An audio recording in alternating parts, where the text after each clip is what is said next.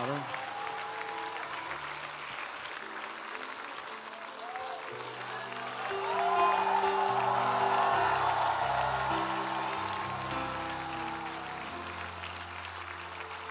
Kamusta kamo mga kauturan? Ang tanan masiling dalayaw ng amay. Malipayon mala kamo mga kauturan.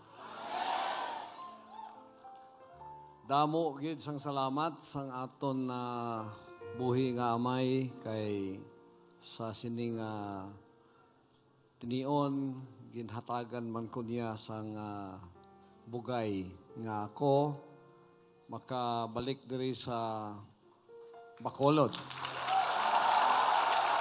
After 17 years, I am back to the city of smiles.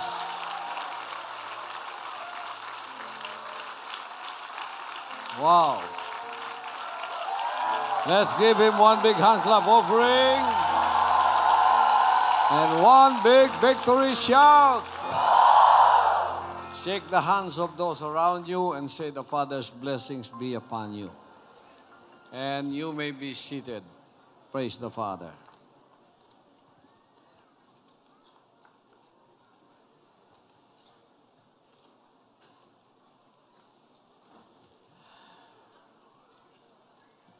Seventeen years before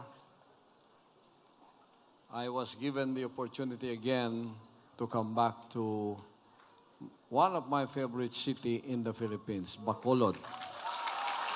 Praise the Father.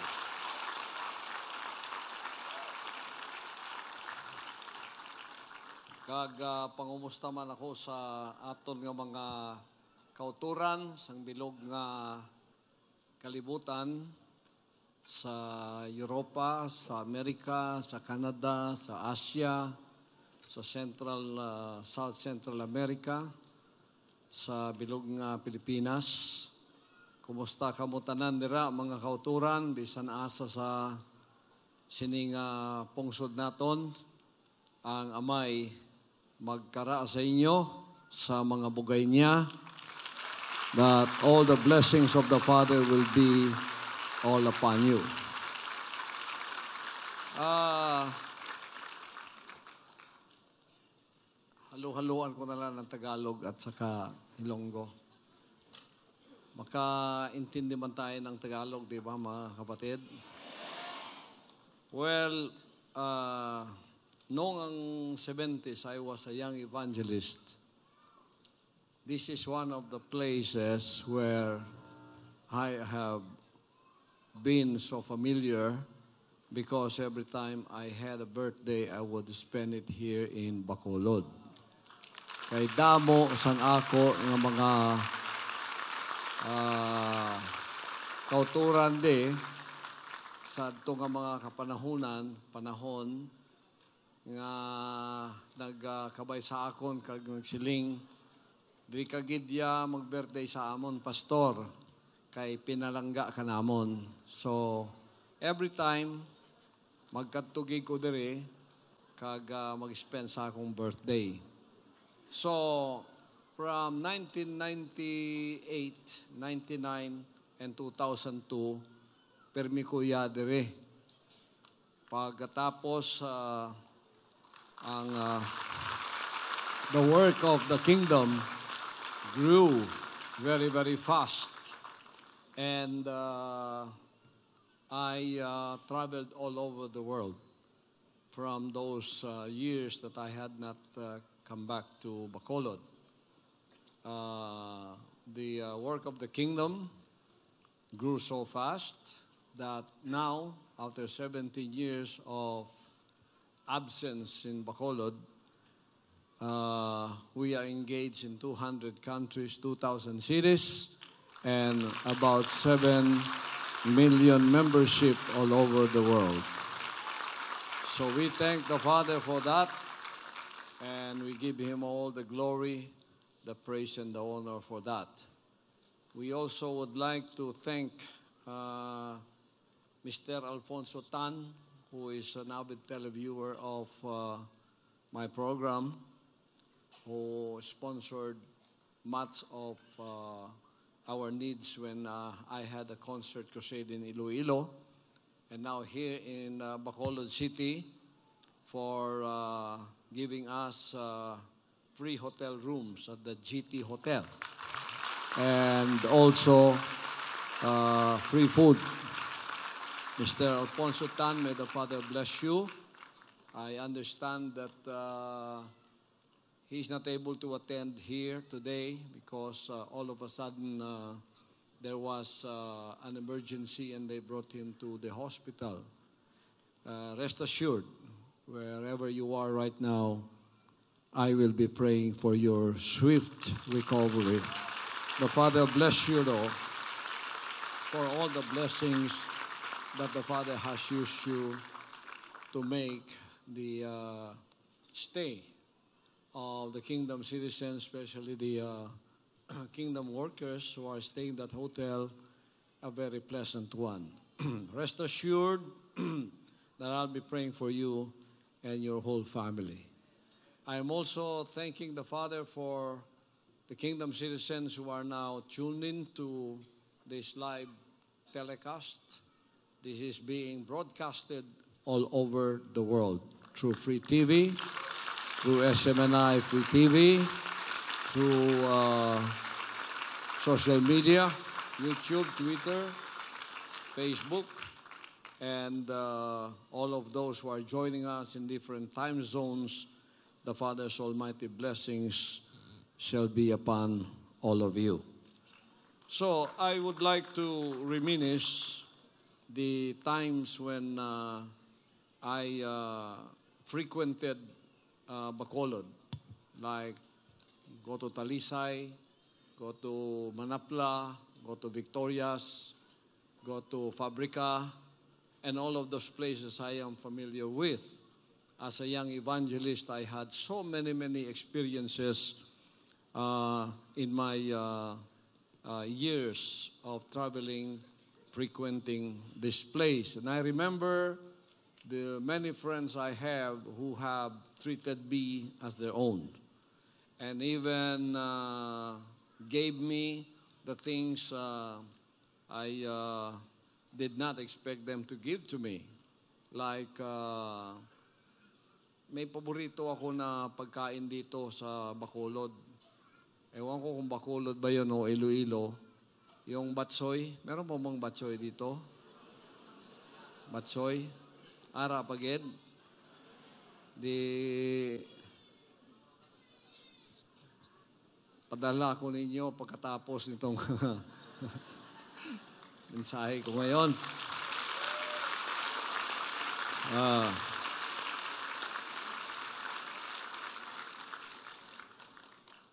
Salamat din sa Dakilang Ama sapagkat ah, yung mga kingdom leaders natin ay naririto. Sina Sister Ingrid, Chief Administrator of the Kingdom, International Administrator, Sister Tessie Dandan, our Europe, Canada, administ- uh, Europe and uh, Ukraine Administrator, Sister uh, uh, Elizabeth Carrion, including uh, Central America and Brazil. Is that Central America? Brazil, no? South America in Brazil, and also our uh, USA Administrator, Sister Helen Panilag, and uh, Sister Nori, my anchor, and the ministers who are here. The Father's blessings be upon all of you, all of my crew, the choir, and uh, cameraman, all of the musicians, all of the singers, all of those who are traveling with me, wherever I am. Thank the Father for the great sacrifice that you are making. The Father will bless all of you. Ang aton nga mga taga Bacolod man, nga mga orkestra, kagang mga kabataan nga nag-perform daw damo sang kabataan diri sa Bacolod. Praise the Father. Sino bala sa inyo mga kauturan ang ah, nagatuo sang sini nga tinion nga kamo makadawat sang blessing sa ato namay.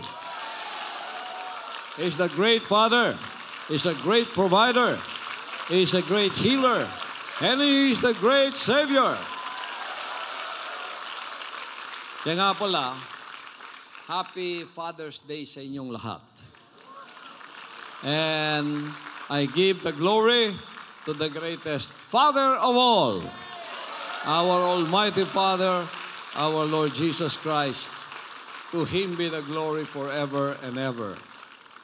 Uh, ginbisita man ko sa aton nga gobernador, dili siya makakadto diri kay may mga appointment siya ang nagbisita siya sa akon holding room si Governor Lacson kag uh, administrator naton diri sa sa Bacolod. Si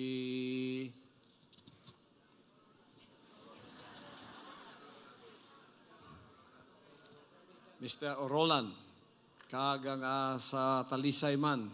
Aton administrator to kag councilor. Kag si Mayor uh, Leonardia pagkato daw siya diri mayara lang siya sa appointment.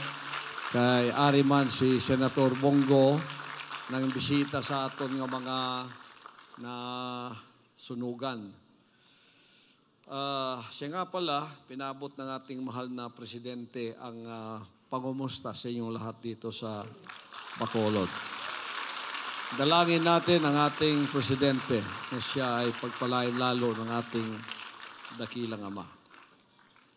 So, daw ang akong tagipusoon puno sang uh, pasalamat gid kay uh, daw di ko makapati nga ari ko di sa Bacolod karon mo.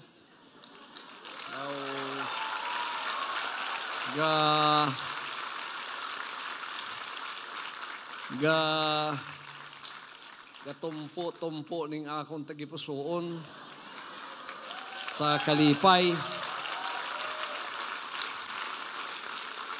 Bisa ng aton amay sa langit, kasiling, hindi ang tanan nga nagasiling sa akon Ginoo Ginoo makadto sa gingharian sa langit apang ang nagatuman lang sang kabubuton sa akon amay yara sa langit.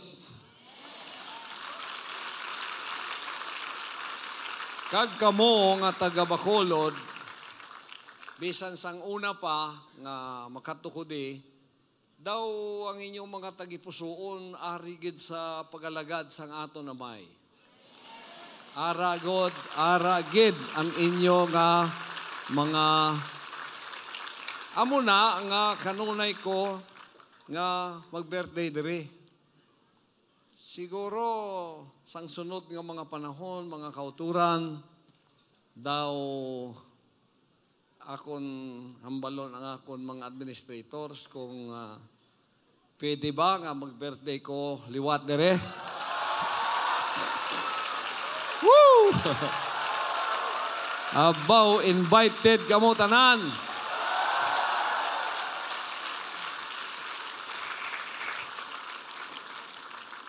Salamat gid sa inyong agugma sa akon. Kag sa aton amay. Bisan pa Uh, even though I have not seen you and I have not visited this place for 17 years, but when I came and my jet just landed in the airport, I already felt the warm welcome even at the tarmac when I got down from my plane, saying, This is the city of smiles.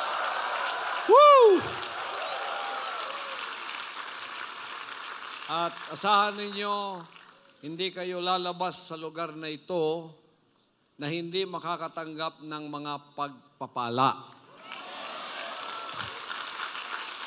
Of course, pagpapala na galing sa ating dakilang Ama. Hindi yung shortcut na pagpapala, kundi pagpapalang nanggagaling talaga sa Kanya. Kaya mahal tayo ng ating dakilang Ama sa paglilingkod natin. Many of you, maybe after 17 years many of you maybe are televiewers of my program and you have followed my message and the ministry that the Father has entrusted to me. But nevertheless, for the new ones that have not heard about this ministry, or you have heard but not completely understood what my ministry is all about, there are frequently asked questions about this ministry. One of which is, Why am I called the appointed Son of God? When in the church age, we were taught that there is only one Son of God, and that is our Lord Jesus Christ. And questions would arise and say, Are you taking the place of Jesus Christ? Because while he was here physically and bodily present, he was called the Son of God. I would like to explain that because we did not learn this message and we didn't learn this revelation in the church age. Hindi natin naunawaan ito noon sa church age. But I would like to uh, clarify this through a revelation that I pray the Father will open your mind and you will see a new horizon of revelations that have been denied us in the church age because that is where the revelation they have is uh, limited in which limitations we only had an idea of what God is about. It's like a frog that is being thrown into a dry well. And if you are that frog in that well and you look up, the only heaven that you can afford to see is the opening of the well. Yun lang opening noong balon ang nakikita mong langit. Naakala mo, yun lang talaga ang langit. Pero kung ikaw, aalisin ko sa balon na yan at ilalabas kita sa balon mo, I will pick you up and bring you outside that well. And I will tell you, now, look up to heaven. What will you see? You will see the unlimited horizon of heaven.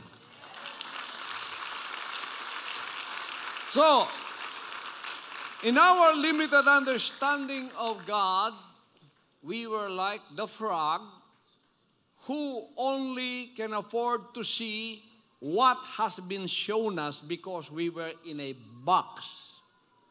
I will take you out of that box and see the unlimited revelations that have not been afforded us. The Father took me out of the box of denomination and religion so that I would be able to see the vast expanse of the power of the love of the Father in the heavens. Praise the Father. So, hindi ko alam na ako'y pagkakatiwalaan ng isang ministeryong ganito sapagkat alam ninyo, nung 70s, naglilibot ako dito, katukod diri sa Bacolod, kag uh, damo sang akon nga mga abyan o kung mga kauturan ko diri, kag uh, amo to ang akon na na knowledge about uh, God, kung ano ang ginsiling sa akon denominasyon sa akon, amo tuya ang akon stock knowledge about God.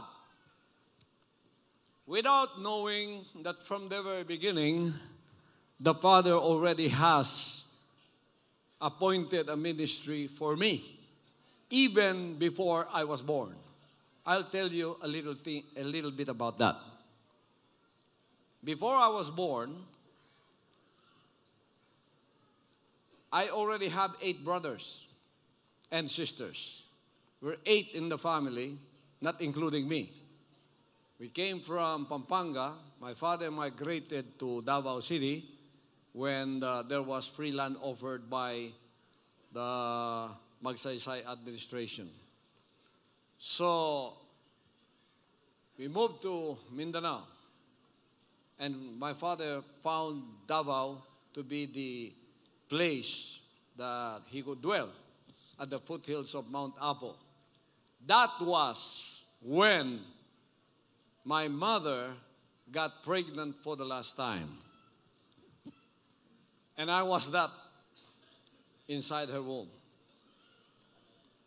I am the ninth in the family. I was the only one born at the foothills of Mount Apo. That's why my name is Apo. Apollo. My father is fan of Greek mythology. My mother would say, "Oh, we will name our son, our uh, youngest son, Apo, because I was born at the foothills of Mount Apo." My father said, uh, "That's uh, a nice name, but uh, our son looks like, uh, sounds like he's already a lolo." even he is just an infant. So because he was fond of Greek mythology, dinagdagan na lang niya ng LLO, Apollo, the son of Zeus, the god of the Greeks. My father was fond of that. So naging Apollo ang pangalan ko. Gumanda konti. But when I was being born, I heard this story growing up. My mother saw a vision, and we are not that religious. Growing up, I heard this story. My mother saw a vision. It was God on a cloud, and she heard a voice. And the voice said, That's my son. Ako. And then I was born. And I heard that story while I was growing up. Tatay ko at nanay ko mag-uusap at sasabihin na kasi yung pangalan tatay ko Jose. Pangalan ng nanay ko Maria. Sounds familiar.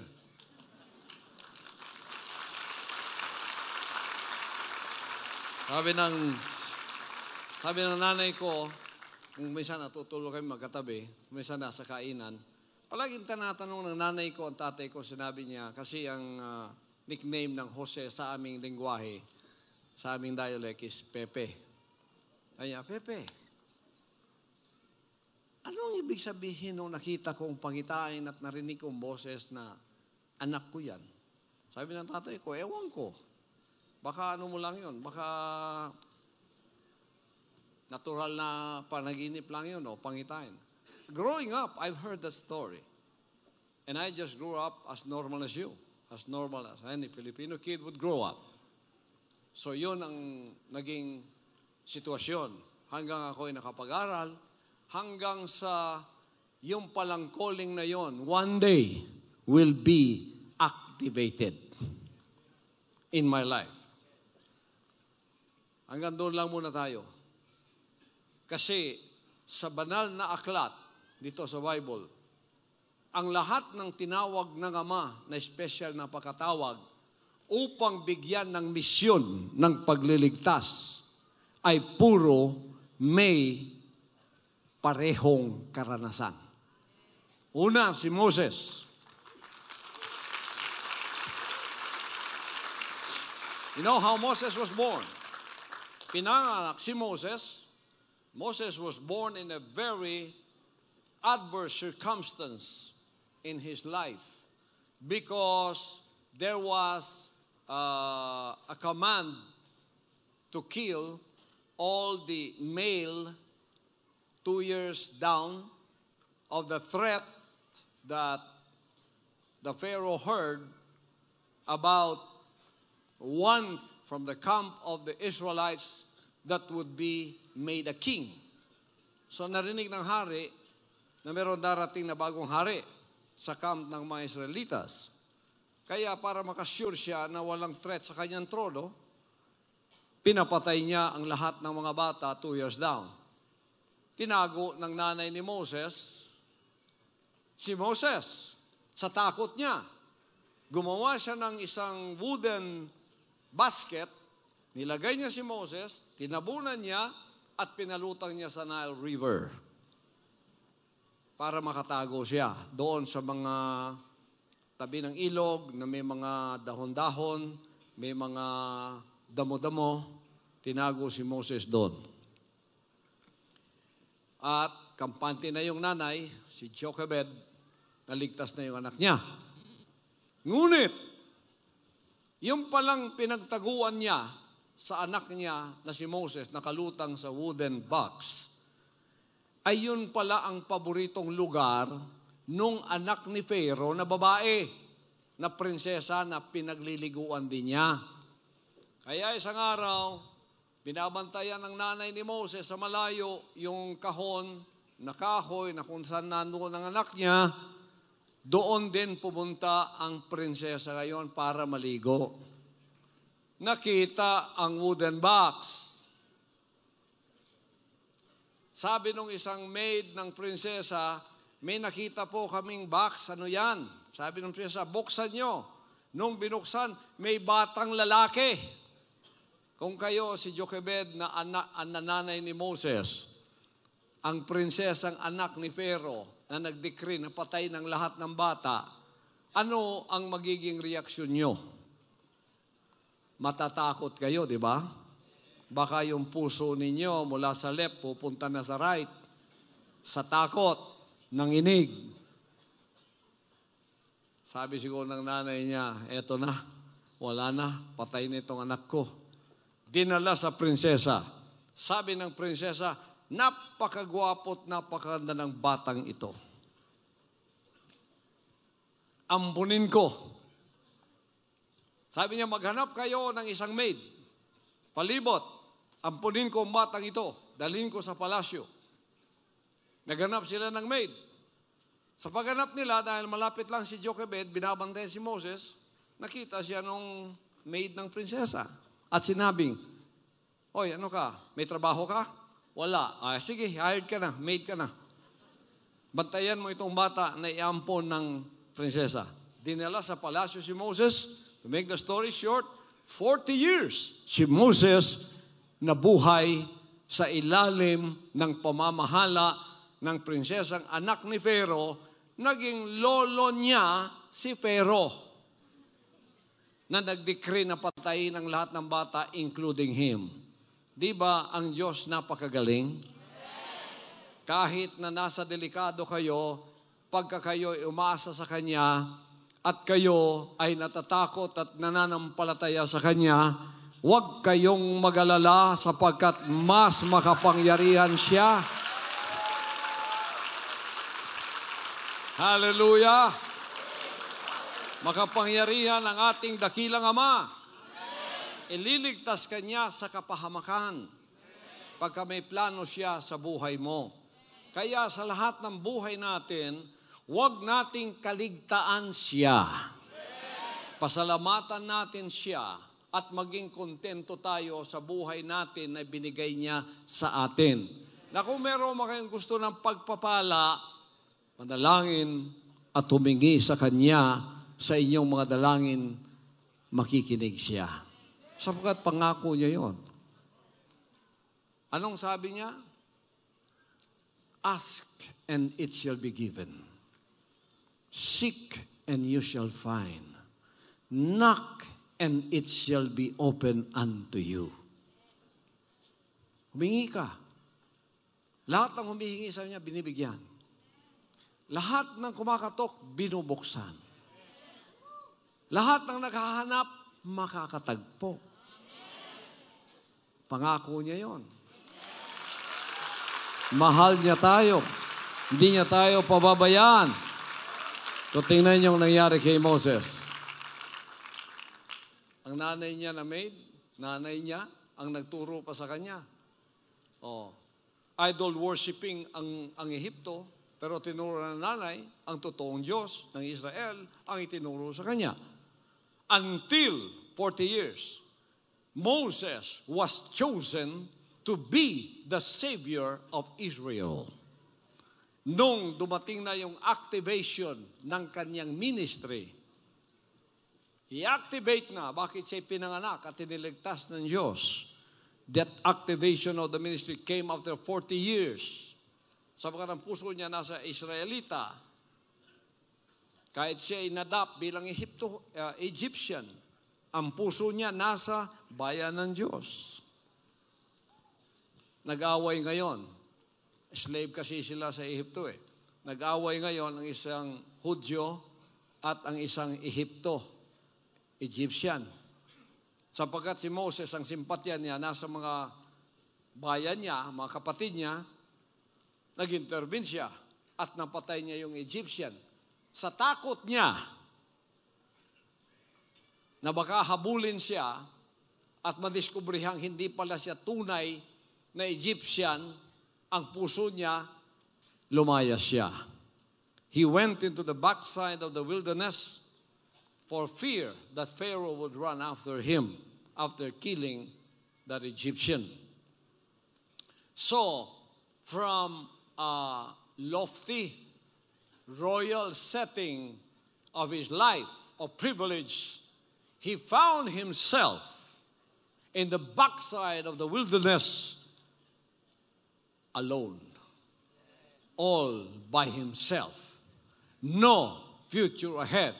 Cannot come back to Pharaoh for some reason that is very obvious.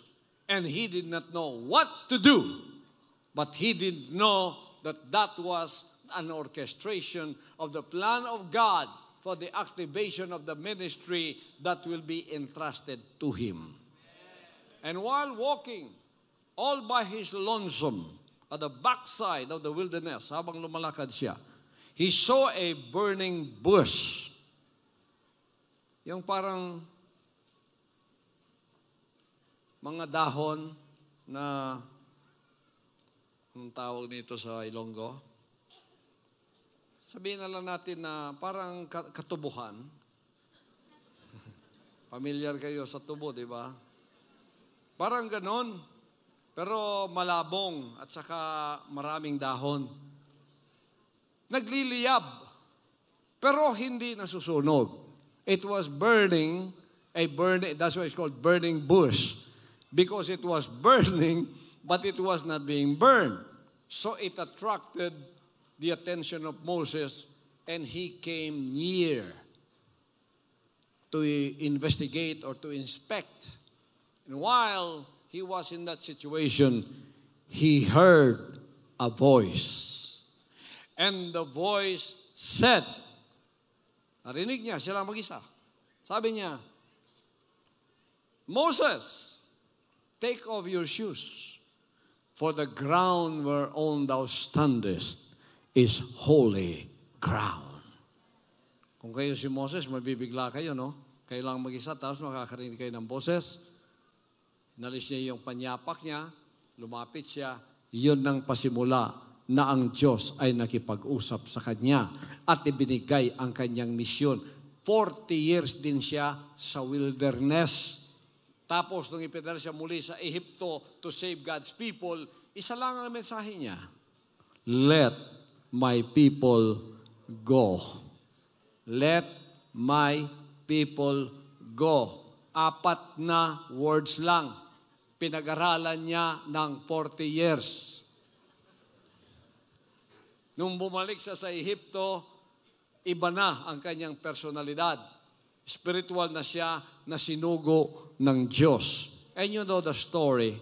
Ten plagues after that, they went away and the Egyptians followed them because they took all of the gold of the Egyptians and the Egyptians gave all the gold because of the plagues that happened. So they hastily gave all of it so that they could go and the plague would stop. Pero nung sa kalagitnaan na, malapit na sila sa Red Sea, eh naisipan ng mga Egyptian na habulin sila para alipining muli. And you know what happened? Moses, tiningnan niya, the situation was bleak. Left, right, buk, bundok. Sa likod, Egyptian army. Sa harap, Red Sea. Walang pupuntahan. Umiyak ang 3 million na dala niya. Saan ngayon, Moses? Walang mga libingan dito. Dito mo kami dinala para mamatay. Ilan mga mga anak nyo? Pinakamaraming anak dito, ilan? Sampo. Sabay-sabay yung anak mo umiyak sampo. Maghihingi ng pagkain. Nalilito ka na. Ito, 3 million, umiyak. Biniblame si Moses. Pumunta si Moses sa Diyos. Sabi ni, ng Diyos, huwag kang mabahala, Moses. Ano yung nasa kamay mo? Tungkod. Punta ka doon. Harapin mo yung Red Sea. Ibaba mo ang tungkod mo. Binaba niya. Nabiyak ang dagat. Sabi niya, palakarin mo ang mga anak na dala mo to the other side. While they were walking on dry land to the other side, the waters were parted. There was a highway all of a sudden. And the Egyptian army pursued after the last Israelite went onto the other side. The Egyptian army pursued in the middle of it. Sabi ng Diyos, baba mo muli yung tukod mo. Binaba. Pagbaba, bumalik ang tubig. Nalunod silang lahat. Hindi na sila nakabawi. Nakabawi sa utang nila. Yung mga gintong dinala ng mga Israelites. Kaya hanggang ngayon, masama ang loob ng Egyptian sa mga Israelites. Eh. Sabi niya kayo, hanggang ngayon, may utang kayo sa amin. Yung mga ginto namin, ninakaw ninyo, hindi pa yun naisauli. Yon ang misyon ni Moses. Amen? Ngayon, paano ako nasali sa misyon na yan?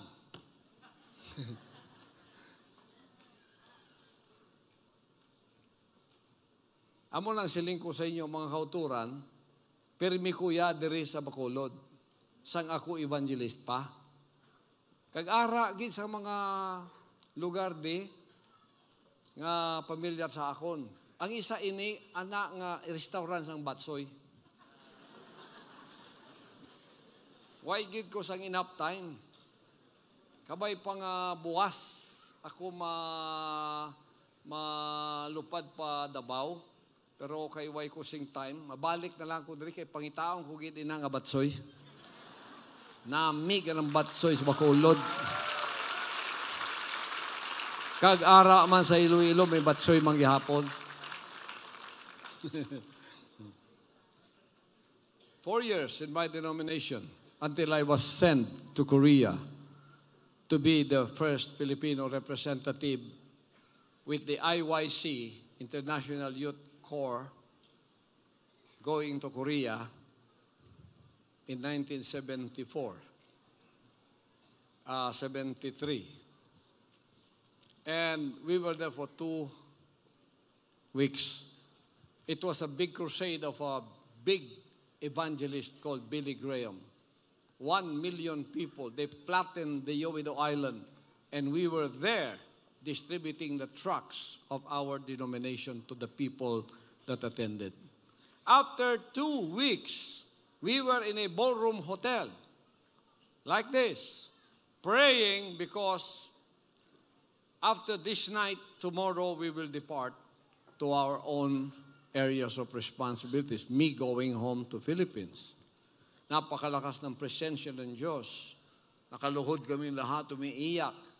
May umaawit na paborito kong singer. Ang awit niya yung Take It All. Take it all, take it all. What the world can offer me, take it all.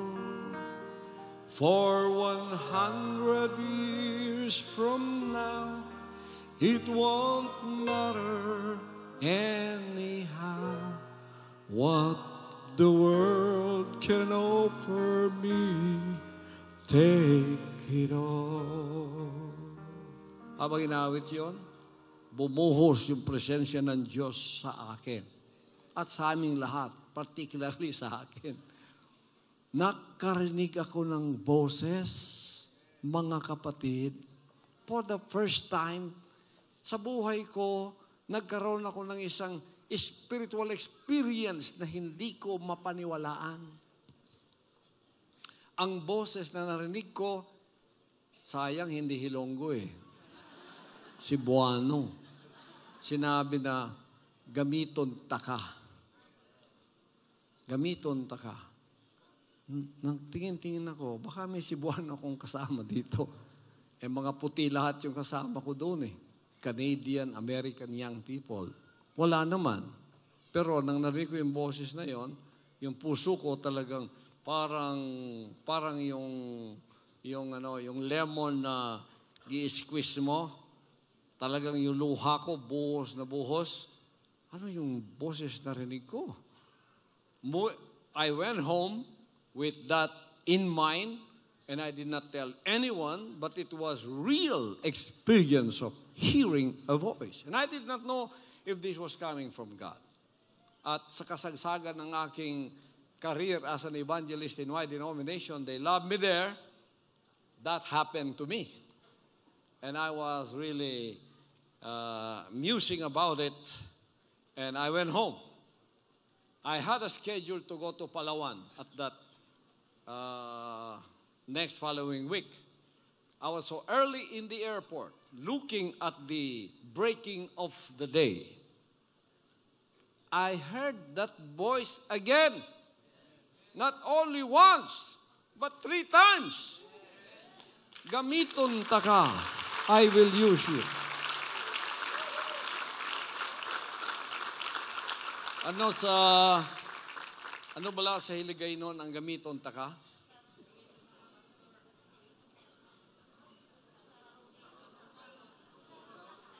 Usaron ta ikaw. Usaron ta ka? Is okay? Usaron ta ka? Usaron ta ka? Sayang hindi lunggo ah. Nevertheless, I heard it again. So, I became very curious about, like Moses, ano kaya to? But, hindi ko na, hindi ko na-experience ito noon. Kaya, nagkaroon ng problema ang buhay ko ngayon sa denominasyon ko. Hindi ko lang sasabihin sa inyo kung anong problema ang nangyari. Nagka-problema. Ayaw kong umalis sa denominasyon ko dahil mahal ko yun eh. Nandun ang puso ko eh. Pero para akong nasa barko ba, na nasa pantalan, pagkatapos pinutol mo na yung tali, tapos ang barko umaalis na sa pantalan, ikaw naman gusto kang bumalik, hindi ka na makabalik, tapos nakikita mo lumilit, lumilit yung mga ilaw ng pantalan, sapagat malayo ka na, wala ka nang magawa. Sakit yung puso ko. But it was the power of God that was taking me away from the things that I love and hold dear to my heart. I said, These are just borrowed, they're not mine at all. So I went away and I don't know, like Moses. Now I am all by myself, don't know what's happening. I tried to come back but there was a hindrance, an impossibility to come back because of the situation that have happened. And I will not relate to you how it happened until I found myself in two mountains in six years. One mountain, the Father brought me. How He brought me there, I'll not tell you about it right now. I found myself in a place at the foothills of Mount Matutum called Kitbog.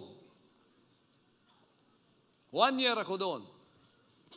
And my mind, why the Father brought me there, is to clear up that this voice I heard was not of the devil. I will make sure it is of God. Yun namang mga kaibigan ko sa denominasyon, yung mga kaibigan ko, kasi yun nga, para kaming mga palaka din na nasa balon lang, yung nakikita namin, yung langit lang namin, ako inilabas na ako sa balon, kaya ang kanilang uh, judgment sa akin, si Apollo ay na-deceive. Na-deceive ako. Kasi pag lumabas ka sa denominasyon mo, dahil palaka ka, yung lalangit mo, na-deceive ka na. So, okay na lang. Kasi hindi man nila alam kung ano ang pinagdadaanan ko. It is a spiritual experience that uh, I have not experienced in my denominational life. So, maraming istorya nangyari. Ganon, na-deceive ako, nawala na ako, parang nasira na daw ako.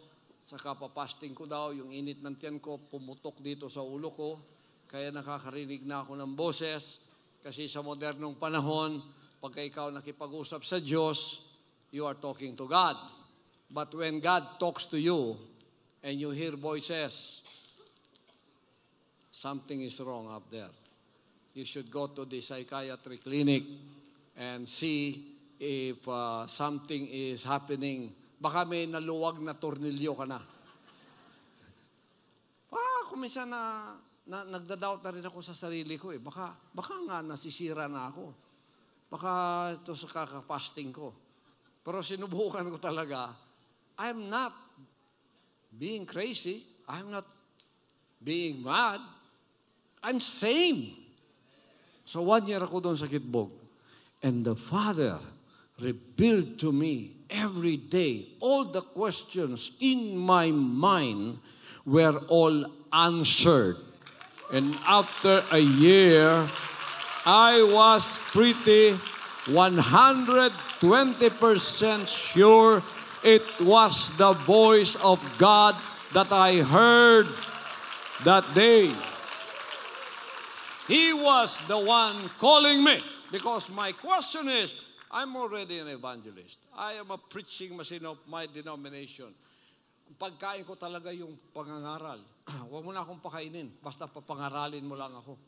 Because my my my uh, my uh, my guts is full of the words of God that even I am on the shower, those words should come out of my mouth. I don't know why.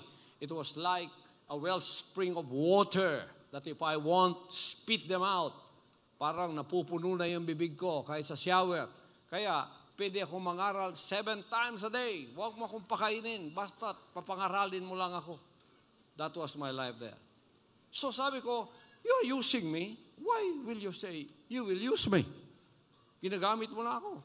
Sabi ng mga kaibigan ko sa denomination ko, ay ba taga Bacolod? Baka nandito yung iba ngayon. Ti nga uh, makadto ka pa dira nga gidgamit ka naman sa ngaton na may di. Nga, nga ano ka? ah? Ano ka? Ano ka, Paul? Eh, ang ang ganil sa akon kay Paul man. Ano ka, Paul? Nga ginagamit ka naman sa aton na may diri sa aton denominasyon, ara ka, ga preaching ka, ga, ga ano ka da, anong anong gamit sa Ginoo? Daw na ano ka na dira? Na-deceive ka. So, I just kept that in my heart. Tinago ko lang yon. Pero alam ko ang pinagdadaanan ko. So, nung 100% sure, it was Him calling me. And those voices I heard were not from the devil.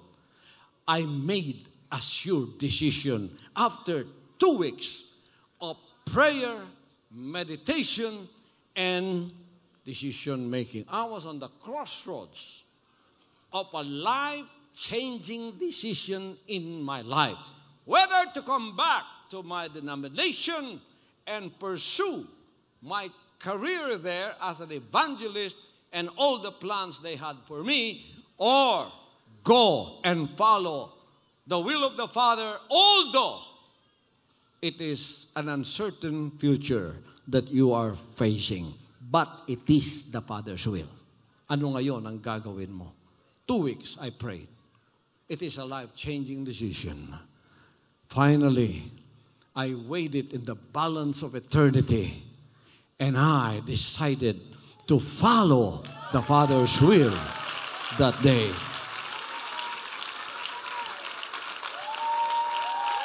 Hallelujah! Nang araw niya yon, inalis niya ako sa kitbog, pinadala ko where I was born physically and now spiritually doon sa Tamayong. That is now our prayer mountain. Hope you can visit there one day.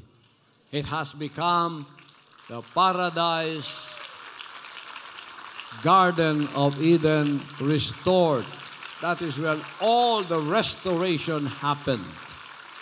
Dinala ko doon, and like Moses, who were in that mountain for 40 years, I was there for five long years in that one hectare lot. And heaven above was opened to me. Revelations, visions, audible voice were all revealed to me to form this message that I am bringing to all humanity in the world today. It was like a jigsaw puzzle that you put every piece of that revelation together to see the big picture of what the Father would like to entrust to you in a mission to save the soul of humanity. Pinadala niya ako, mga kapatid. Nabuo ko ang picture kung ano ang gustong gawin ng ating dakilang amang hindi ko natutunan sa relihiyon ko noon. Kaya nung ako'y natapos na sa limang taon na yon, walang isa man sa mga sinabi niyang nahulog sa lupa, sinunod ko lahat. Ang isa lang na kanyang ipinaaral sa akin is absolute obedience to His will, small and great, absolute obedience only to the will of the Father, loyalty only to the words and will of the Almighty Father given in the new covenant. That is all that I've learned there. Nung natapos na, narinig ko na naman ang boses ng dakilang ama at sinabi niyang, Now you are my son. Doon ko naalala, doon ko naalala yung vision ng nanay ko na sinabi niyang, that's my son. Tayo palang lahat alipin ng demonyo noon kasi nagkasalang unang, unang ang magulang natin unang Adan. Nadamay tayong lahat. By the sin of one, all died. By the obedience of one, all will live. Ganun pala ang prinsipyo ng kaligtasan. So, mga kapatid, nung narinig ko ang boses niya, ngayon, ikaw aking anak. Yung Revelation 21.7 ay nagkaroon na ito ng katuparan. Ako yung naging katuparan para sa fallen Adamic race. Ito yung hindi matanggap ng mga tao sa sandibutan ngayon. Ha? Ikaw? Pilipino ka, taga third world country ka, taga tamayong ka. Wala nga sa mapa yung tamayong mo eh. Naging son of God ka, dami nagalit sa akin dahil dyan. Hanggang ngayon, marami pa rin nagalit sa akin. I do not blame you because you have you have the seed of the serpent within you that is contradicting the mission of the Father that we once again become sons and daughters of the Father Almighty that was once our estate before the fall in the Garden of Eden.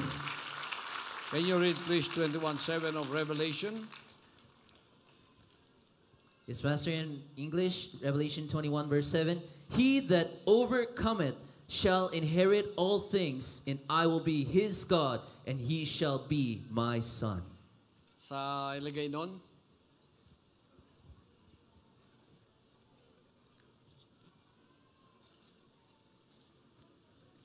Twenty-one seven.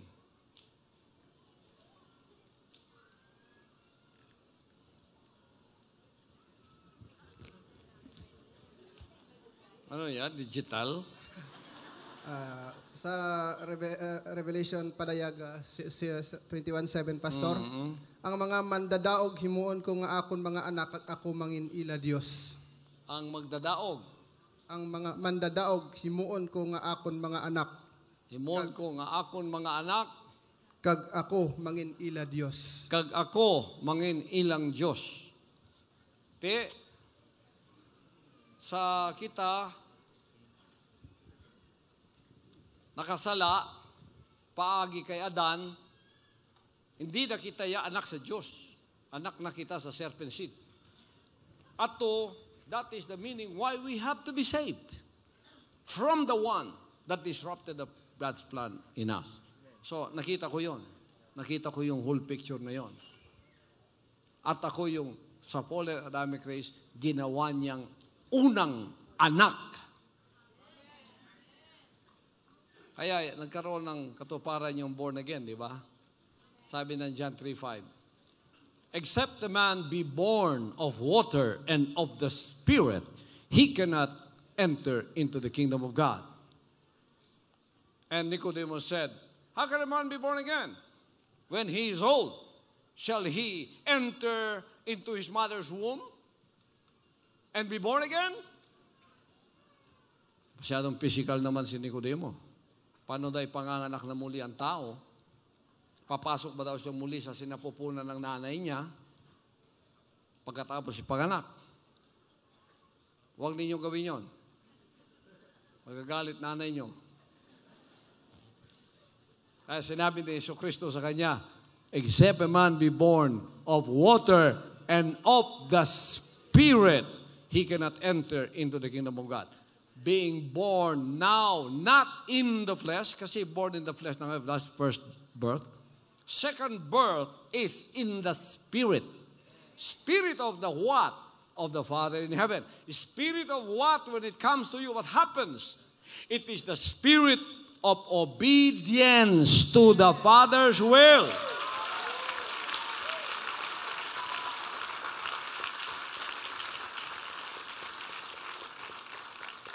Masunurin ka na ngayon sa mga salita ng iyong ama na ngayon ay nasa sa iyo na. Wala na yung espiritu ng pagsuway na nadala ni Adan at ni Eva mula kay Satanas doon sa garden.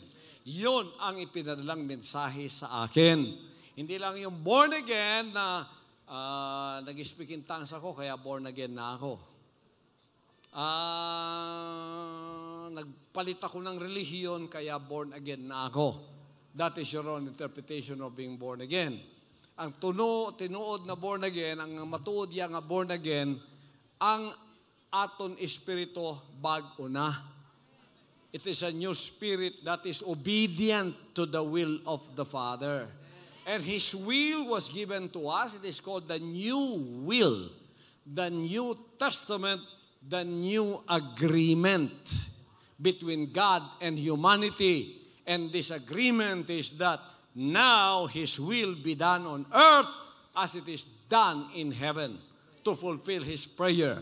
Our Father, which art in heaven, hallowed be thy name.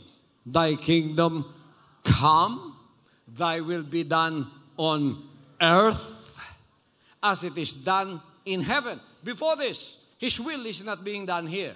It's only being done in heaven. Here on earth, the will of the flesh is being done. The will of Lucifer is being done through the fallen Adamic race. Kaya walang kalooban ng amang nangyayari dito. Although, religion taught us, ginagawa mo na yung kalooban ng ama, may religion ka na. Hindi pa yon. Sasabihin ko sa inyo mamaya, bakit? Ngayon, tinawag niya ako upang gawing anak muna niya na una sa fallen Adamic race. Kaya, marami ang nayayabangan sa akin. Hambugero ini nga kibuloy ni. Siya kuno ang appointed son. May mabasa ka baladara nga may appointed son nga ang pangalan Apollo kibuloy bala.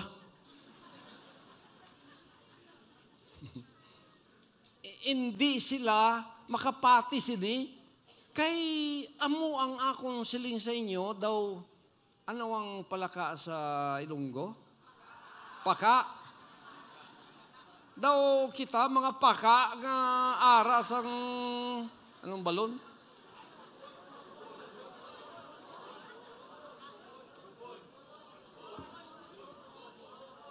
Gubon? Gubon. Oh, ara sa well. Kag amo ato ato nakita nga langit naton.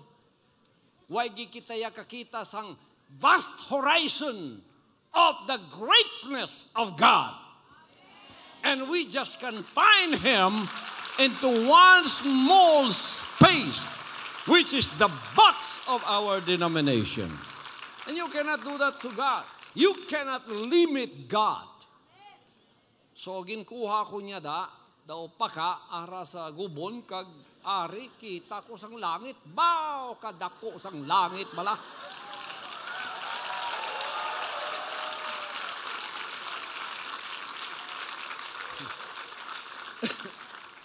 Ari gid.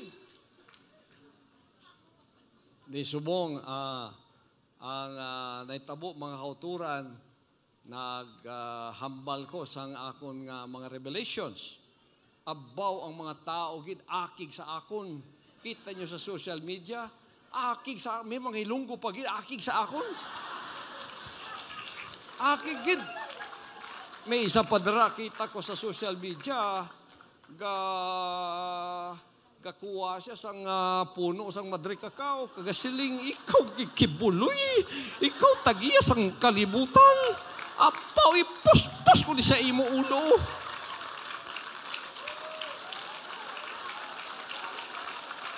May isa pagid dira nga may do may ara siya sang ano ni kini ah, sing ah, sing kalo ba na sa Ilonggo? Kalo sang witch kag may ano siya ikaw gid ang tagiya sang kalibutan kibuloy hindi ikaw ah. Ako ang tagiya sang kalibutan apaw ki ka kibuloy nga ako ang tagiya sang kalibutan kag hindi ikaw. Ako ya ang gauyat sa magic ball. Kag ikuha niyang earth ari o Baw.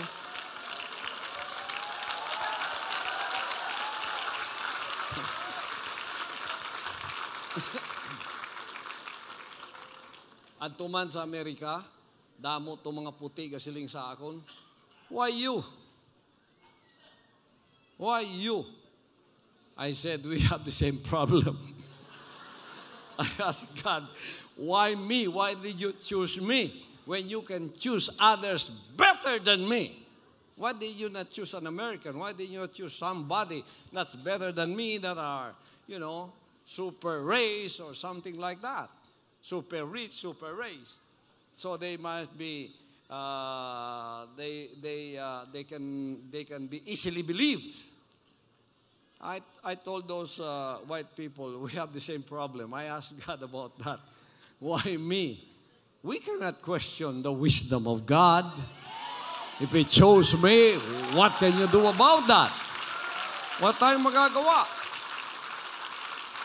So, amo na ni mga kauturan. Ginpadala ko niya sa bilog nga kalibutan, no? Kalibutan, kag uh, amuni ang akong gi-preach, preach, waragwag. Oh, ginhambal ko ang iya mga revelations nga ang tao hindi gid siya makasulod sang gingharian sang langit kung hindi siya magatuman sang kabubuton sang amay nga yara sa langit.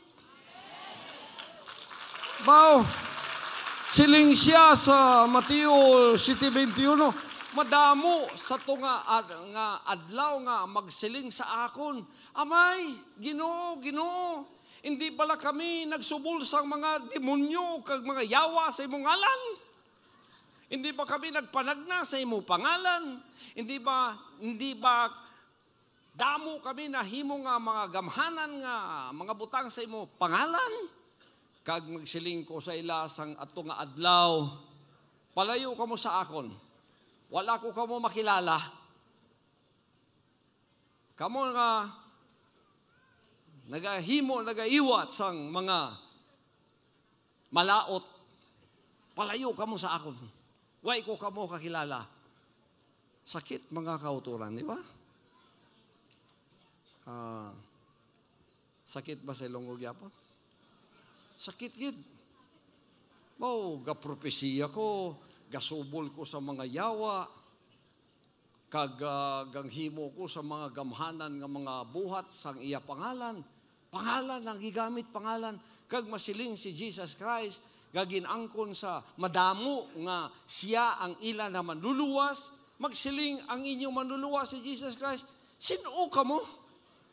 Wa ko kakilala sa inyo sa diin mo Dras bakulod, yung may bangga dra. Oh.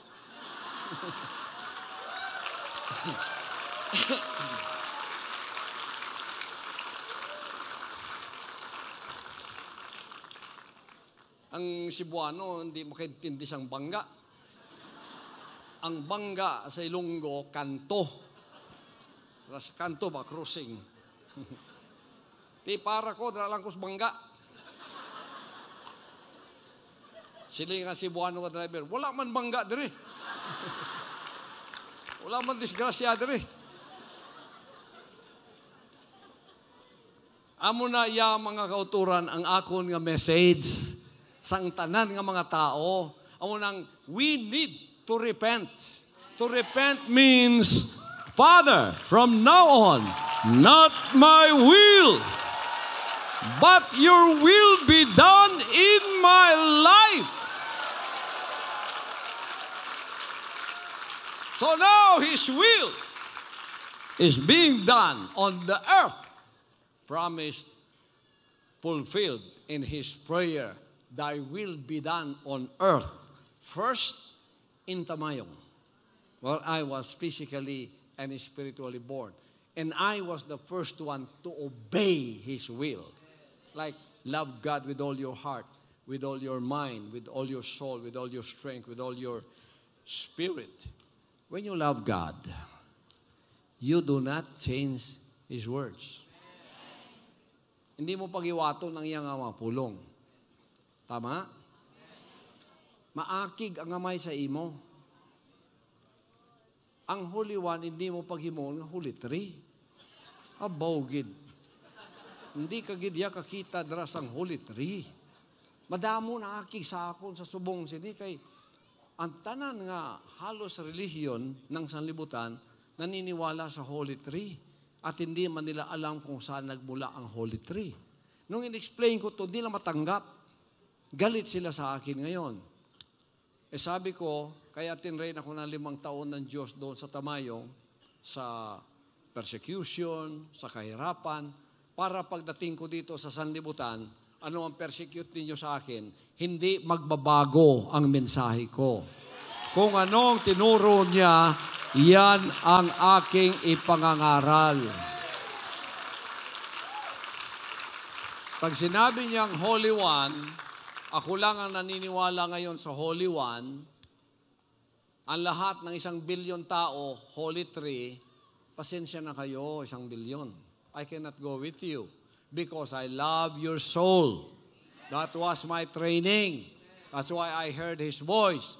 Ngayon ko nalaman, karong gid ako naka, naka kabalo mga kauturan, kung nga aga siling sa sa akon, usaron ta ka. Inusar ko niya karon hindi na sa denominasyon. San iya na nga kabubuton.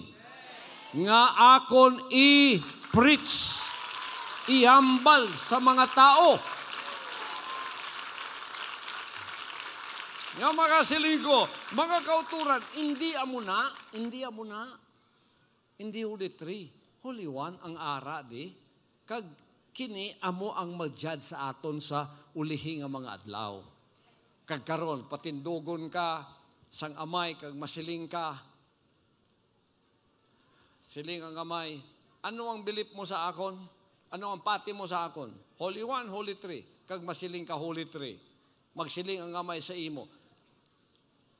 Can you read in the scriptures about that? Search the scriptures for them. You have it. You, you think you have eternal life. They are they which testifies of me. John 5:39. Jesus Christ was the spoke, uh, the speaker. What will you say? You have no ground to stand on. Wala ka dira. Wala ka gintindugan. It's just tradition. Although it's popular. If I only want popularity, I would go with the popular one. I don't want enemies. I am a very kind person. I'm a very pleasing person. I want friends.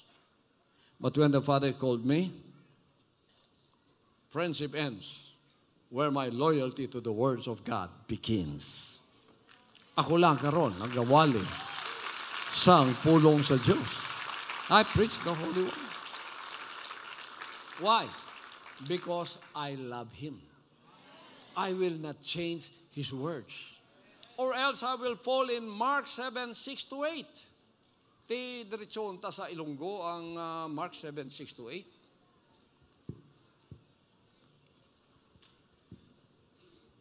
Wide ring akong bifocals. Kung yara, ah, mabulig ko sa pagbasa sa aton mga scriptures. Uh, Mark 7, 6 to 8. Mark 7, uh, 6 to 8, mga pa- pa- pastor. Ginsabat sila ni Jesus, matuod gid ang ginsiling ni Propeta Isaiah. Parte, Aara o, ginsabat sila ni Jesus, matuod gid ang ginsiling ni Propeta Isayas, parte sa inyo nga mga ipokrito. Suno sa gisulat ni Isayas, nagsiling ang Dios, ang mga tao nga ini nagapadungog sa akon sa baba lang, pero ang ilat nagipusoon malayo sa akon. Seven. Wala sing pulos ang ila pagsimba sa akon, abaw. Kayang ila mga ginatudlo, mga pagsulundan nga ginhimo lang sang tao. Eight. Kinsalikway ninyo ang sugo sang Dios. Kagang mga tradisyon sang tao, amo ang inyong ginatuman. Siling ang aton Jesus Christ manluluwas. Ti, kung ikaw ah, yara sa iyang ah, ah, presensya kag ah, judgment time, amo na iya basahon sa imo, ano'y siling mo? Wala kay siling. Nga, kay mistake. Ari karon ako, isa lang. I am the only one standing for this. Mga nga.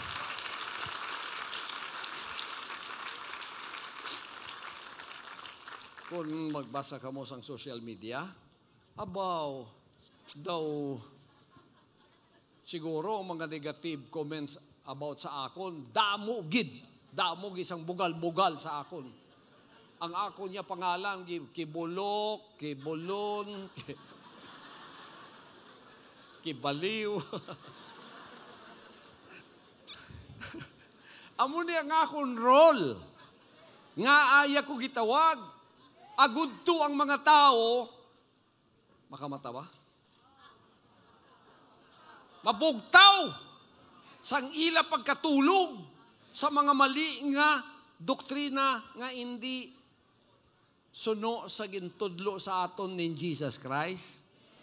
Ti ako yang unang gintutunan.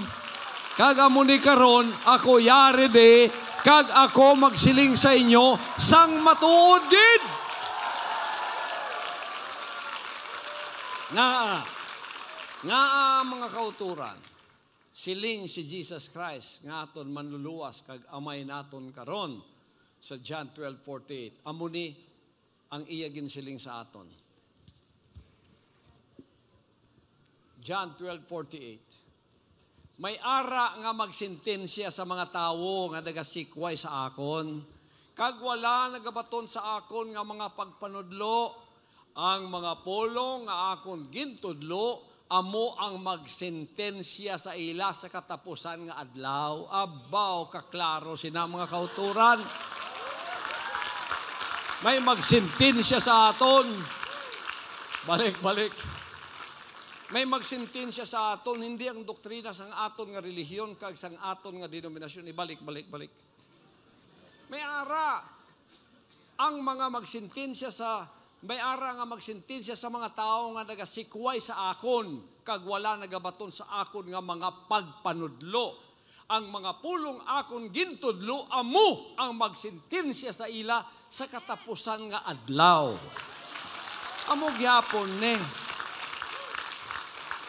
Kaya, kaya ako, masyado akong stickler sa mga salita ng Diyos. Pati Tagalog ko, Ilonggo na rin eh. Kaya, kaya hindi ako nagaiwas sa mga salita ng Diyos. Kasi yan talaga ang totoo, mga kapatid. Yan ang magsentensya sa aton sa ulahi nga mga adlaw. Hindi kita ya mabiyadra. Amo ni karon ang akong gintudlo sa tanan. Kay kita kon mamatay, may arata kalag. Kalag man, no? Okay? We will all face judgment one day. And uh, in that judgment day, you will see, he will only ask you one question Did you do my will? Because he said, Not all that say unto me, Lord, Lord, shall enter into the kingdom of heaven, but they that do the will of my Father who is in heaven. Just imagine the wickedness of this world today. I preach the words of Jesus Christ as they were preached 2,000 years ago. And look what they did to Jesus Christ when he preached the same words that I'm preaching today. What did they do to him? Did you see the passion of the Christ? Did you, did you see how they, how they did to Jesus Christ? He was all alone.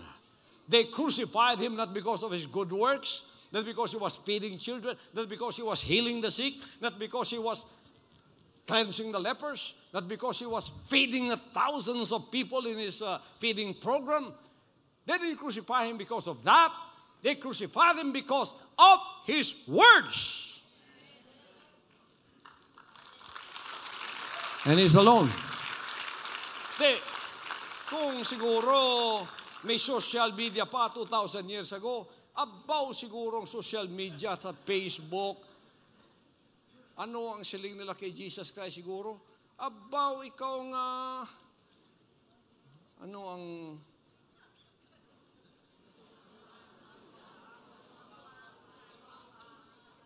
ano nga buang ni man?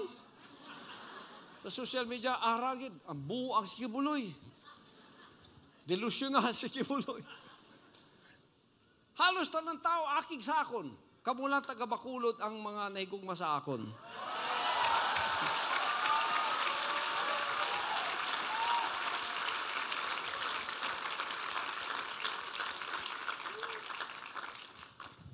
Nakik sila sa akon, hindi kaya ko gwapo. Nakik sila sa akon, hindi kaya ko pagkaon sa 3 million ka children sa akong Children's Joy Foundation. Nakik sila sa akon, kay ang akon pulong walay compromise. Kung ano ang ginsiling ni Jesus Christ 2,000 years ago, amo gihapon ang ginsiling ko karon sa inyo. Kay ara siya da. Siya ang magsintensya sa aton mga kauturan. Amo ni ngayari ko di. Amo ni ang misyon ginpadala niya sa akon. Wala na siya sa church age. Ari na sa kingdom age. Kay lahat kayo kung mamatay, gusto ba ninyo pumunta ng langit? Langit ang punteriya natin. Kaya diretsuhin mo na yung Matthew 7.21. Hindi ang lahat ng nagsasabi sa akin, Panginoon, Panginoon. Ilonggo? Ligay nun, please. Matthew 7.21. Are. Why pagid?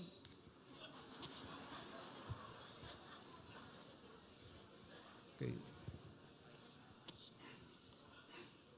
Matthew 7.21.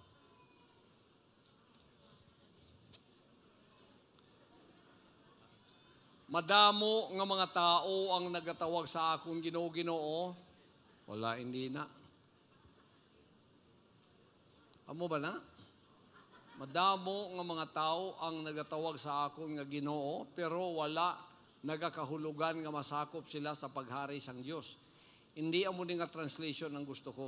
Ang mga tao lamang nga nagatuman sang kabubuton sang akon amay sa langit, amo ang masakop sa iya paghari. It is not a very good translation. Ini nga Bible diri oh. Ini ang ah, paggamiton mo. Ini. Ah, Brad, paki may mabasa ka da? Ano nga translation nina? Ah, ini ini. Parehas lang? Oh, di balik ta sa King James. Not all that say unto me, Lord, Lord, shall enter into the kingdom of heaven, but they that do the will of my Father who is in heaven. Okay.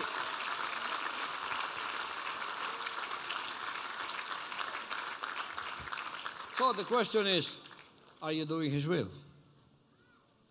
Did you change the Holy One to the Holy Three? damo aki sa akon subusini. I cannot do anything. This is my mission. I cannot compromise. I will tell you the truth, even if you hate me. You hate me or love me, that's your choice. But you cannot avoid the issue of salvation that these words of God will be the one to judge us in the last days. Ito ang hahatol sa atin sa huling araw. Ano bang sinabi niya mga kapatid? Love your neighbor as yourself. If you love your neighbor, tell him the truth. Sabihin mo sa kanya ang totoo. Huwag mo siyang huwag mo siyang linlangin sa mga doktrina mong hindi tama. Ito yung pinasasabi ng Ama sa akin, kaya marami nagalit sa akin sa denominasyon kasi nakita yung kamalian nila. Pero kayo magalit kasi ito para sa mga sinserong tupa. Nang pinadala ko ng Ama, sabi niya, I will send you into all the world. I have children, all cities of the world. They don't know you. You don't know them. But when they hear your voice, they will follow it because my sheep know my voice. Na na-discover ko sa mga huling araw na to, mga kapatid, na pag ikaw tumatayo sa totoo, maraming magagalit sa iyo. Pero yung palang mission ko, hindi ako men pleaser. I'm not here for public relations. Wala ko kumuha ng mga PR men ko para ayusin ang image ko kay sinira ng tao. I'm not here for that. I'm not here for popularity contest. And I am not afraid also to preach to you the truth, even if you will hate me, and even if your hate is with a passion, and even if your hate with a passion is wanting to kill me, I cannot do anything about that. My choice is already made. I will not compromise the words of God because I love you.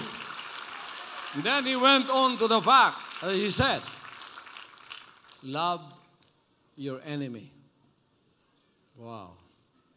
Will of God. Pag-usapan natin ito, will of God. Love your enemy. Do good to them that hate you. Pray for them that persecute you. Bless them that persecute you. Pray for them. Ara silonggo na. Agin kuha pa. Sige. Aton basahon. Mateo 5:44 Pastor. Apang ako nagasiling sa inyo, higugmaa ang inyong mga kaaway kag magpangamuyo kamo tungod sa mga nagahingabot sa inyo. Mm. Sige. Ah, padayon Pastor. Agod nga mangin anak kamo sang inyo amay nga yara sa langit. Ano na, dire-diretso na? Ah, love your enemy. Do good to them that hate you. Pray for them that despitefully use you. Is that it? Okay. Uh, otro? Okay. Uh, Mateo 5:44 Pastor. Apang ako nagasiling sa inyo, higugmaa ang inyong mga kaaway kag pangamuyo kamo tungod sa mga nagahingabot sa inyo. Agod ang agod nga mangin anak kamo sang Parang, inyo parang amay. short, shortcut, no? In English. Is that is that the account of Matthew?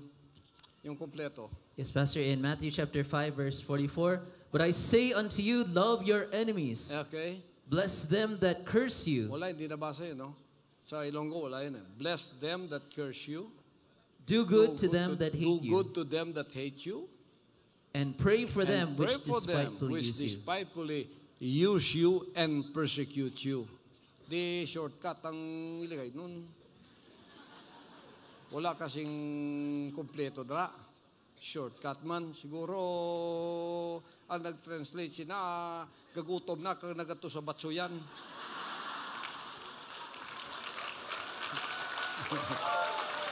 Di, balik tadi. I say unto you, mahalin mo yung kaway, pagpalain mo yung bless them that curse you, do good to them that hate you, and pray for them which despitefully and persecute you. Ginagawa ba ito ng mga Christians? Sa churches, ginagawa ba ito ng mga Christians? Di ako gin-hate nila. Ako lang ang gapatis ang mga ginsiling ni Jesus Christ kag amo ni ang akon nga ginsiling kag ginhambal sa inyo Di damo sing mga tao ga hate sa akon. Makasiling ko, sino bala ka mo? Gasiling ka mo si Jesus Christ ang inyong nga Savior. Why ka mo kaila sa iya mga ginsiling dire, ginhambal dire. Sino ka mo? Gin-hate nila ko with a passion. Sino? May harapan nagsiling. Daw mga muyo kami nga mamatay na si Kibuloy. Para pagi sa social media, ah, gasiling. Ini inigid, inigid ma madutlan ka nagid Kibuloy ini. May botilya sang ah, lana kag may manika man dire. Ang pangalan rin kapalibot, Kibuloy, Kibuloy, Kibuloy, Kibuloy, Kibuloy. Barang.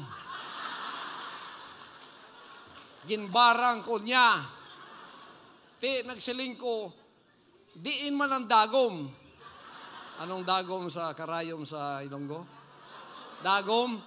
Kay wa, may, wa man dagom dito, di siling ko, at, at, at, at, diin ang dagom. Gamit ang dagom. Ti, nagwapo ko sa dagom mo.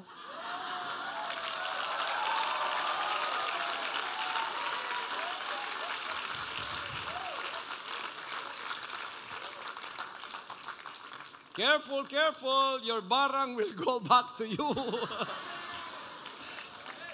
May arasing ah, experience ko dira sa Kulunggulo. Nag-preach ko. Way ko kabalo nga mga tao dito, 70% puro barang. Kag may power gid sila. Amo na nga hadlok ang mga tao sa ila. Nag-preach ko to, wa ko kabalo. Siling sila, buwas sa gabi ang inyo pastor, magdako iyat yan. Nga puno na sa mga alimango, sa mga hipon. Kag nagbutang sila sang line dito sa basketball court nga itom. Kag siling sila, kung matapak inyo pastor da, abaw, buwas na, dako na iyat yan. Ang mga cockroaches daw, mang lugwa sa akong diri, sa akong ilong. Siling ko, kay wa man sing kanang wireless, siling ko, nga wire ko kay dra raman sa tablado, siling ko, pataaso lang akon nga wire buwas. At ko dito mag-preach. Dito sa ilang linya nga itom dito. Di, kato ko to. Ah, wala na sa tablado. Ang mga magbabarang ato sa mga sa mga sulok-sulok, no? Apo, sinobserbahan ako. Doon ako talaga sa itim. Kayong mga magbabarang, maghinulsol na mo. Alam mo. Ang mga tao, ang mga tao, takot na takot, hindi kumikibo. Kasi marami na pala silang experience na pag sinabi ng magbarang, magiging totoo. So, ganun ako.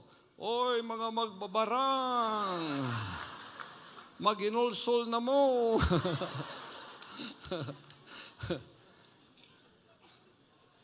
Di kapaabot sila sang buwas. Breakfast namon. Ga, si, ga amo-amo na sila. oh. Ti, ti, ano, ano, anong natabo? Kakita ka sa yan? Gadako ba? Gadako? Sila gadako man kay gakaon man siya sang batsoy.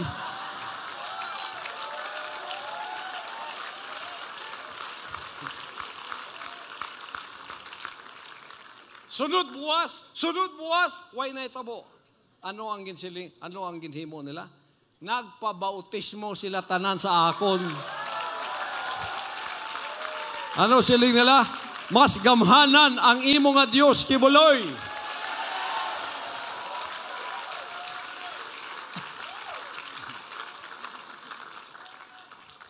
Tis Bacolod, wa parang rin.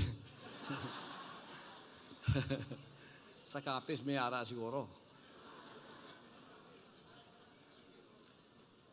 Damo flying voters dere. Mana pagka may eleksyon ang Ilonggo daw gid na. Nga damo flying voters. Amo ni mga kauturan ang akon nga message. So, kung mababasa ninyo sa social media, maraming negative sa akin. Hindi ako yun. galit lang ng tao yon. Dahil meron pa silang masamang espiritu, hindi silang nagagalit, kundi yung masamang espiritu na nabubulgar ang kanyang mga ginagawa. Sabi ng Juan 3.19, John 3.19, ito ang sinasabi.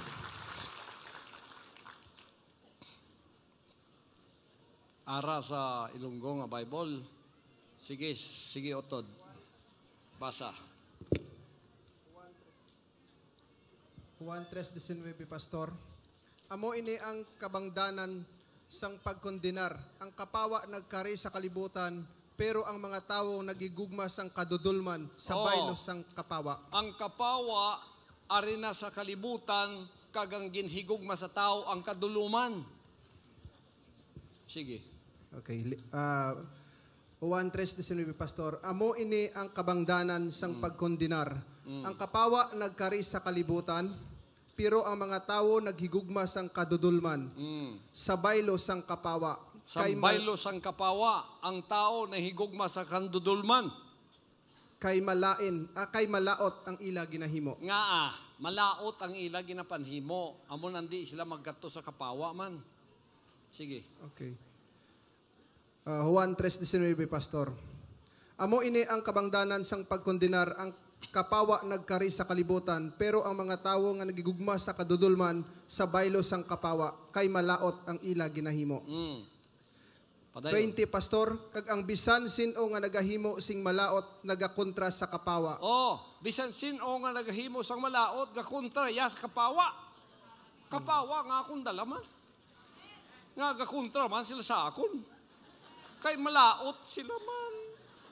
Ari ko di para kamo i-convert ko ato sa kapawa ta. Sige. Uh, 20, Pastor, kag ang wala pang tapos. Kag bisan pa si- sino nga nagahimo sing malaot, nagakontra sa kapawa, kag ang indi magpalapit sa kapawa, kay indi siya luyag nga masapaw, masapuan ang iya malain nga binuhatan. Oh. 21 pastor, pero ang bisan sino nga naga, nagaginawi suno sa kamatuoran, nagapalapit sa kapawa. Kamo. Ag- agud mapahayag sang kapawa. Ah, amo nang gapalapit kamo sa kapawa. Kay agud to nga ang inyong nga mga buhat makita nga yara sa kamatuoran. Woo! Hallelujah! Amo ni ang akon mensahe damo aki sa akon sa sini nga mga pulong ni Jesus Christ nga akong ginadala sa ari nga kalibutan mga kayuturan. Marami pong nagagalit sa akin dahil dito sa mga salitang ito ng mga ng ating dakilang ama. Pero walang bale kasi yun ang mission ko, yun ang ministry ko. Kaya kung kayo anak ng Diyos na pupunta ng langit, maniwala po kayo sa sinasabi ko. Yung social media na paninira sa akin, galit ni Satanas yun, ginagamit lang ang tao. So kung ano yung panlalait nila, bugal-bugal, uh, maligning, anything that they do, they are free to say it. But at the end, there will only be one question when you want salvation. Did you do the will of the Almighty Father?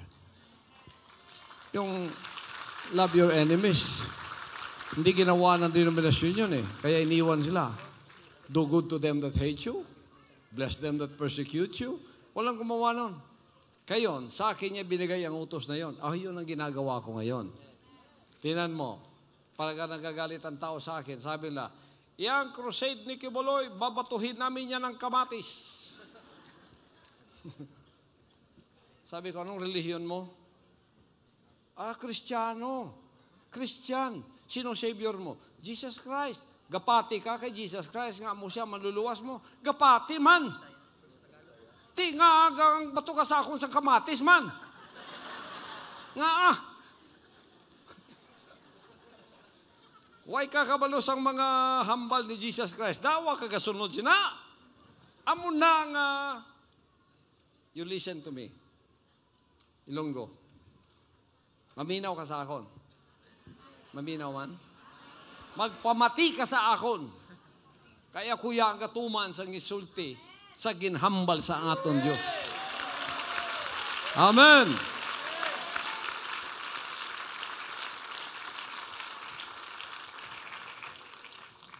Marami nang gagalit sa akin dahil wala sila sa katwiran. Ako panay kung nasa katwiran, lalo na sa espiritual, ay nako, hindi tayo iiwas sa katwiran sapagkat kaligtasan ng kaluluwa natin yan. Kamo, kayo, pag may kaso kayo, anong kukunin nyo? Lawyer.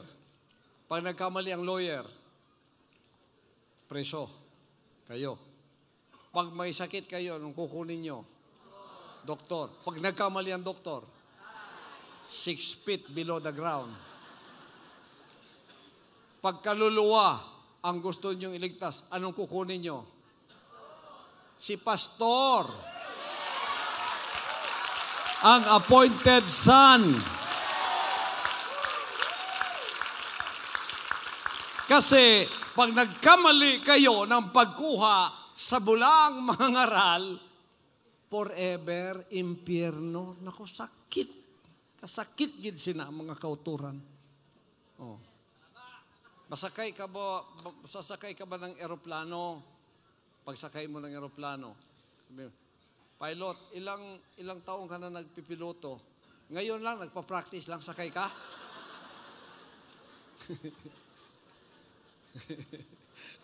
Sigurado hindi ka sasakay, di ba? Kasi hindi niya alam ang ginagawa niya. Oh, kayon, ito yung hahatol sa atin ng Word of God. Hindi niya sinusunod ang Word of God. Sundin mo siya? Pag hinatulan siya, hindi niya alam kung saan siya po, kung ano yung doktrina ni Jesus Christ. Sabi niya, sabi niya, 7.21 Matthew, Did you obey my will? Because not all that said will, Lord, Lord, shall enter into the kingdom of heaven, but they that do the will of my Father, then they will reason out. We, we prophesied in your name. We cast out demons in your name. We made wonderful works in your name. They are using his name. That's why they can deceive. Damo dara, milagro, milagro di, milagro to. Damo sila ginapanghimo aron ma-mesmerize ang tao, kag ma-attract ang tao. Hindi amo na ang lisensya pagkadto sa gingharian sang langit. Ang pagtuman ang aton nga lisensya para makakadto ta sang langit. Ang kauturan. Amo ni ang akon nga mensahe sang bilog nga kalibutan. I am now engaged in 2,000 cities, 200 countries, 7 million membership and growing all over the world. Diri sa Pilipinas, damo nga city diri, ang kantuan nakon. Sa sunod nga year, the Father's willing, diri sa Visayas, dara ko sa Rojas City magkadto. Rojas City. Damo mga anak sang Dios dira.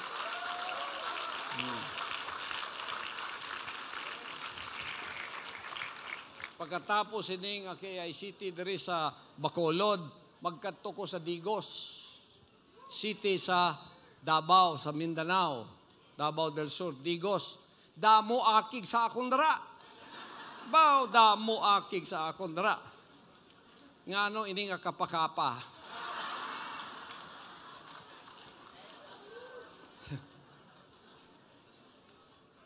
Ako ang ilag ako ang ilagibasol sa ila kapakapa. Nano nano tabo sa inyong mga utok man mga tao mo. Ako ang inyong sinisisi sa mga kapakapa ninyo dyan. Tingnan nyo, pati Tagalog ko, nahilong ko na rin.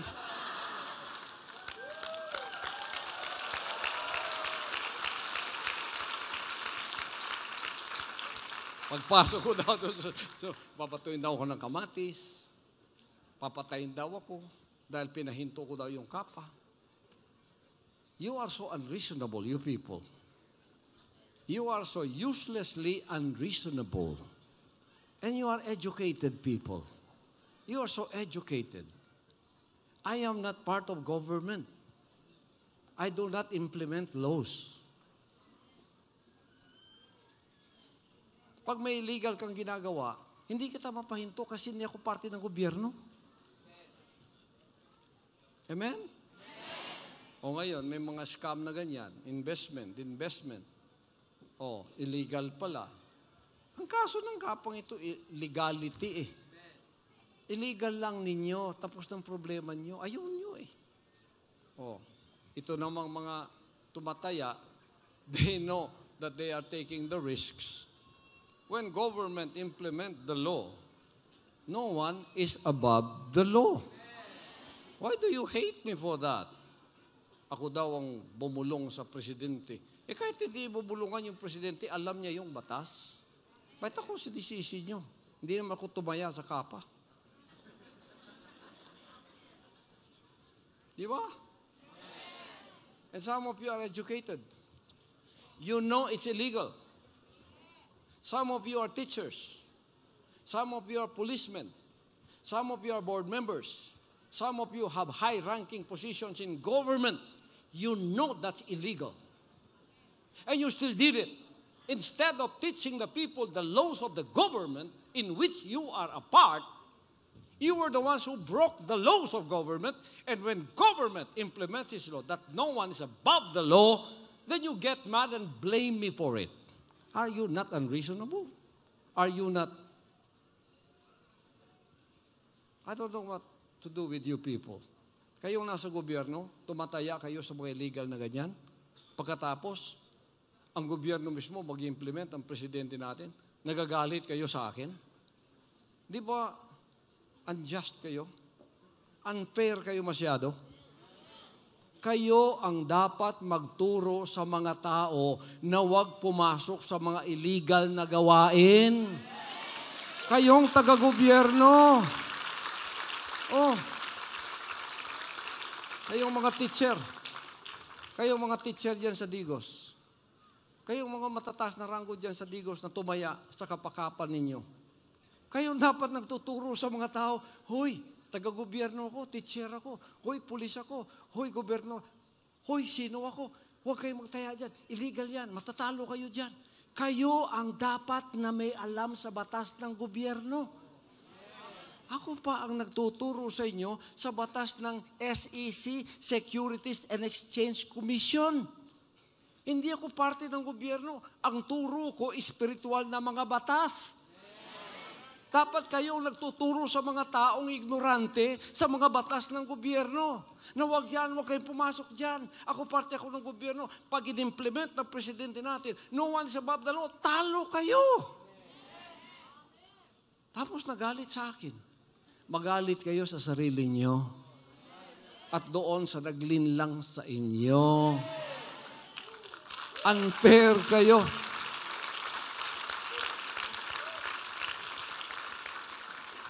Punta ko daw ng Digos, babotuhin ako ng maraming kamatis.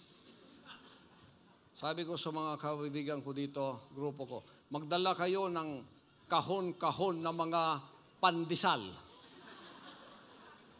Yung mga bread na bilog, pag tinapunan tayo ng kamatis, batuhin mo ng tinapay. Anong sabi ni Jesus Christ? Pag binato ka ng bato, tapunan mo ng tinapay. Pero yung tinapay ko matitigas yun. Walang mali. Pag nabukol ka, makakain ka naman eh. At binabantaan pa daw ako, papatayin ako. Very unjust kayo. Paano kayo pagpapalain ng ama niyan? Puro kayo unfair. Ah, unfair kayo masyado, wala kayong judgment na tama. Pagkatapos matalino kayo dahil sa pera. Dahil sa gusto ninyong yumaman ka agad. Alam ninyo illegal, ginagawa pa rin ninyo. Ano kayong klase? Tuturuan ko kayo pagpunta ko dyan sa Digos. Kayong teachers, magtipong kayo sa harap ko ha.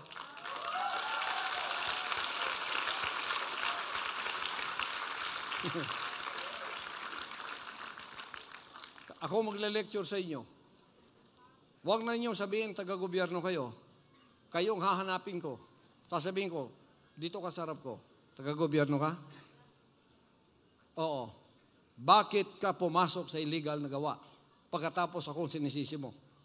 Di ba dapat ikaw ang nagtuturo sa mga tao, sa batas ng tao, na ikaw ay may kinalaman sapagkat nasa gobyerno ka? Bakit di mo tutulungan ang ating presidente? Bakit di mo tutulungan ang SEC? Bakit di mo tutulungan ang ahensya ng gobyerno? What is the law for? It is for peace and order. It is so we can keep the peace. Eh hindi nyo sinusunod, tapos ibiblame pa ninyo yung iba. Imbis i-blame ninyo yung sarili ninyo, ibiniblame ninyo yung iba. Because of quick money, I will lecture you when I go to Digos. Punta ko dyan sa Digos, lilecturein ko muna kayo. Yung lahat ng mga, mga kamati, sali kayo dito. Lecture ko kayo sa mga batas ng gobyerno natin.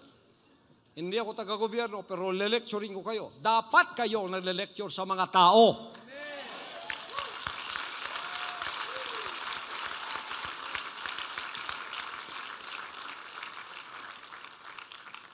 Hindi kayo taga-digos ha? Tapos may banta pa kung patayin ako. Nako. Ako, hindi ako natatakot mamatay bilang hero sa Panginoon. Basta nasa tama ako. Anong sabi ng Word of God? Greater love hath no man than this, that a man will lay down his life for his friends.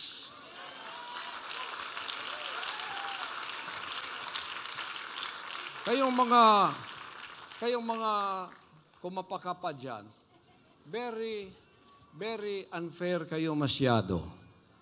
Lahat lang ng social media, ako ang pinakamasama. Ako ang pinakamasama. Ako ang pinaka-evil. Ako, ido-drawing mo ako, ang taas na ng sungay ko. Taas ng sungay ni Pastor Kibuloy. Pero yung leader nyo, abay, ang bait-bait, ang bait-bait. Kung mabait siya, bakit siya ang ni-raid? Bakit siya nagtatago? Bakit siyang may hold departure order sa immigration? Bakit di siya magpakita? Bakit niya kayo iniwan? Iniwan niya kayo. Bakit di siya magpakita? Pumunta at makipag-usap doon sa SEC, doon sa NBI, doon sa pulis. At i-clear niya ang lahat ng ito. Huwag niya kayong itaya. Kayo nakataya kayo, saan ang pera nyo? Hindi naman yung binigay sa akin. Bakit kayo sa akin nagagalit? Sa kanya ninyo ibinigay.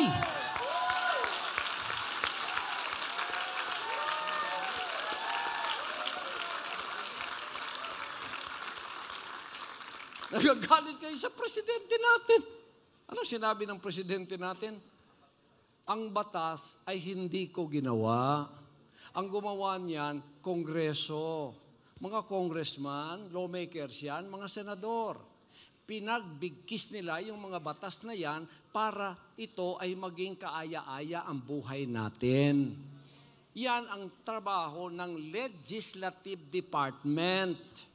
Ang trabaho ng Executive Department, pamumuno ng Presidente, is to implement the law. If the, if the President will not implement the law, he can be impeached because of dereliction of duty. Alam ng ating administrator yan, di ba? Oh.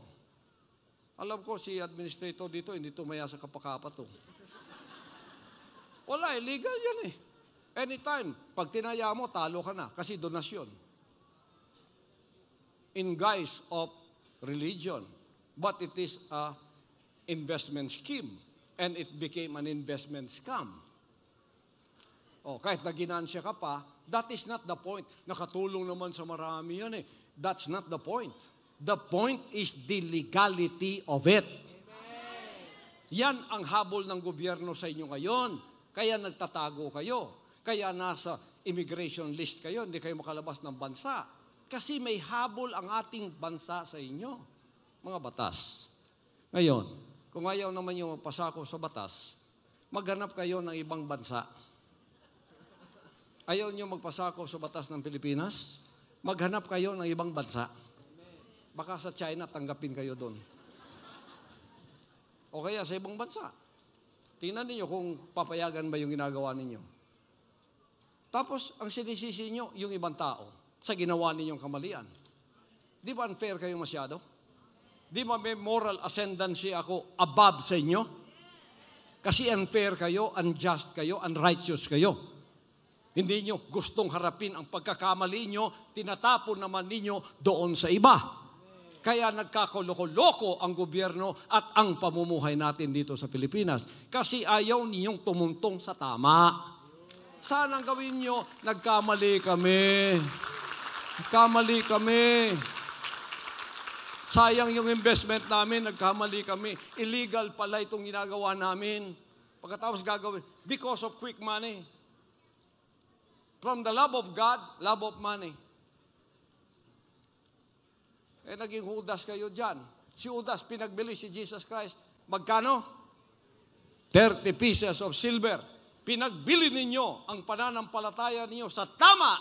Sa magkano? 30%. Tapos hindi nyo nakikita ngayon ng tama. Ako, kumakatawan ako kay Jesus Christ. Galit kayo, pinapako ninyo ako sa krus. Pinagbili ninyo ako sa 30%.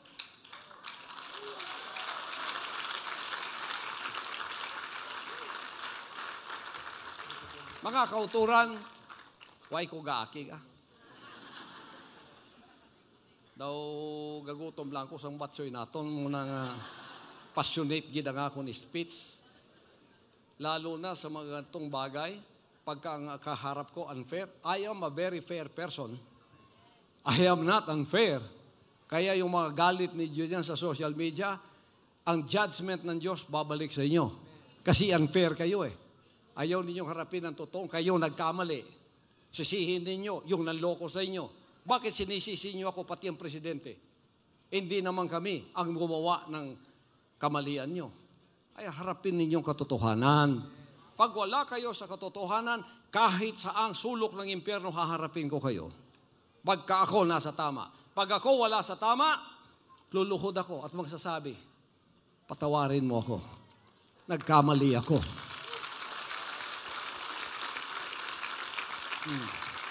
Ito naman. Si Pastor Kibuloy daw ay naiinggit kay Kapalinaryo. Ay inggit daw ako dahil marami na daw siyang member na 30%. Sabi ko, hindi niyo alam ang pagkatao ko. Kaya yung judgment ninyo, ang utak ninyo yan. Ako mainggit, ganito, sasabihin ko sa inyo ang totoo. Ang membership ng kingdom, they have their freedom of choice. If they are not happy with me in the kingdom, I am the one telling them, kung di kayo masaya dito, labas kayo. Maghanap kayo ng sekta, relihiyon o sinong taong susundan ninyo na masaya kayo. Bukas ang pintuan ng kingdom para sa hindi masaya dito. Sabi ko, kung masaya kayo kay Kapalinaryo, lahat kayo punta doon. Pero pag pumunta kayo doon, kailangan maging loyal kayo kay Kapalinaryo. Ipagtanggol ninyo siya, maliman o tama ang kanyang ginagawa dahil yun ang freedom of choice niyong pinili. Maging loyal kayo sa taong pinili ninyo. Huwag kayong papunta sa akin na sasabihin, Pastor, patawarin mo po ako sapagkat ako po ay nagkamali nang ako'y pumunta kay Kapalinaryo. Hindi pala totoo siya. Insultuhin kita niyan pag bumalik ka. Sabi ko sa iyo, huwag ka na bumalik dito, doon ka na. Maliman o tama ang ginawa niya, dahil yun ang choice mo, doon ka na. Yan ang prinsipyo ng kingdom, di ba? Kingdom citizens, di ba? Oh, ngayon, ang issue, ang issue, yun daw ang mga members, warriors ko, mga workers ko, nagpapalimos daw sa mga bus, sa mga jeep, tapos nagpapabili daw ng mga ballpen, mga kutsinta, mga puto. Sabi ko ito, gagawin namin ang lahat ng kailangang gawin basta hindi labag sa batas.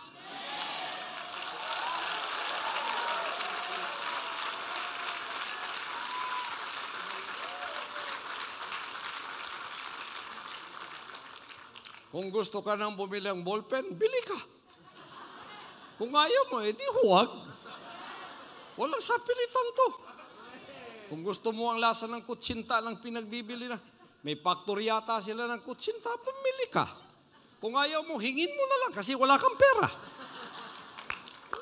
Ganun lang yun. Wala simple yun. Pero, papahiya mo kami. Sasabihin, ah, nagpapalimos siya. Anong ebidensya mong nagpapalimos siya? Paninira mo lang ata yun. Oh, bakit hindi mo siya hinuli? At pinahuli. Kung may, may lumabag sa batas sa isa sa mga kasamahan ko, they will face the consequences of the law. Kahit ako. Oh. Tapos ginagawa yung issue yung sa Hawaii. Nahuli daw ako, may, may pera, $350,000 at may mga gun parts. Bakit nandito ako ngayon? Yeah, tanongin ko kayo, bakit nandito ako ngayon?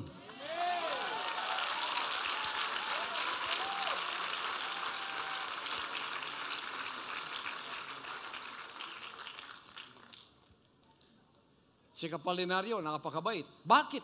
Five minutes, hindi siya makatagal. Kailangan, umalis na ako, five minutes na. Bakit? Ang bait-bait na tao, tapos nagtatago ka. Bakit ikaw may kaso? Bakit ikaw girade? Ako, open ako. I am under the law of the Philippines. And all my members, the whole kingdom nation all over the world, they are under the law of every nation they are in. We are not above the law. Pag nagkamali kami, we will face the consequences of the law. Wala kaming sisisihin. Wala kaming sisisihin. Yan ang sinabi ko sa mga kapatid ko dito. Oh, masama bang magtinda ng puto? Hindi nila alam. Ay, umayaman si Kibuloy dahil sa puto, kutsinta at ballpen. Sige daw. Magtinda kayo ng ballpen kung yumaman ba kayo. Lahat ng kutsinta sa buong sanlibutan, pakyawin na ninyo at ipagbili kung kayo ay yayaman ba. Lahat ng kutsinta ay pagbili mo. Hindi man yan makakapagbili ng isang poste ng kingdom na pinatatayo ko. This is the biggest dome in the whole world. It's 70,000 seating capacity.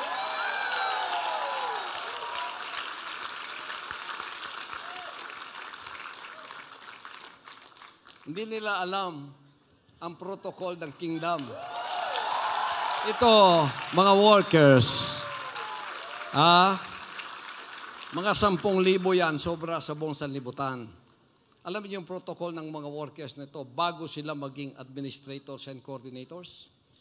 They have to be, they have to graduate on the streets. Para meron silang katwiran na makaharap ng tao, magdala ng ballpen. Sir, bili ka, sir. Bakit ginaganon nila? Para harapin nila ang lahat ng klasing tao, ipapahiya sila, bubulyawan sila,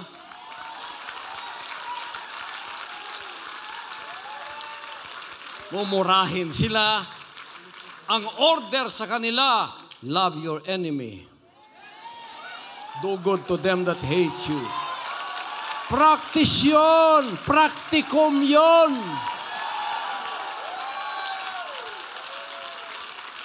Para lang may madala silang katwiran na sila ay makapag-approach ng tao, kaya may kutsinta. Para tingnan ang reaksyon ng tao, ang iba mabait, ang iba hindi, ang iba bastos, ang iba namumulyaw, para sila ay magkaroon ng katapangang humarap sa sosyedad na kahit sinong demonyo ang harapin nila, hindi sila matitibag. Love your enemy pa rin. Pagka nakagraduate siya sa sacrifice na yan, after one or two years, seasoned army of goodness na siya. Bibigyan na siya ng posisyon na makapagdala na siya ng mga tao. Matuturuan na niya sila sa mga utos ni Jesus Christ. Pero pagka ikaw minura ka, ballpen sir, tapos minura ka, minura mo rin siya. Sabi ng leader mo, failure ka, X, X, back subject ka, balik ka na naman sa street. Sir, ni anapod ning mga kiboloy. Hawari! God bless you, sir. Pasado! Woo! hindi alam, hindi alam ng mga, nako, ballpen, kutsinta, magpapayaman sa akin? Makabili ka ng jet sa kutsinta, sige daw. Makabili ka ng tatlong helicopter sa kutsinta, sige daw. Kahit lahat na ng utap sa buong sanlibutan, lahat ng batsoy sa bakulod, kainin mo na lahat.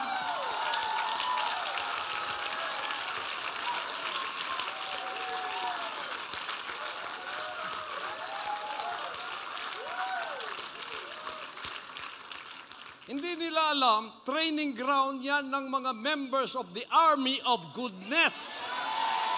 Kaya warriors ang tawag sa kanila, Army of Goodness.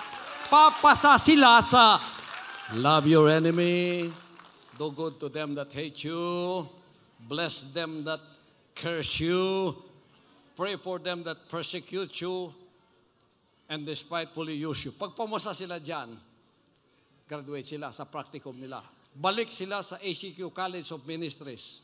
Pasado ka na sa practicum. Paperworks na lang gamitin mo. Theology ka na. Pasar ka na. Ipadadala ka na bilang isang leader na merong rango equivalent sa Army First Lieutenant.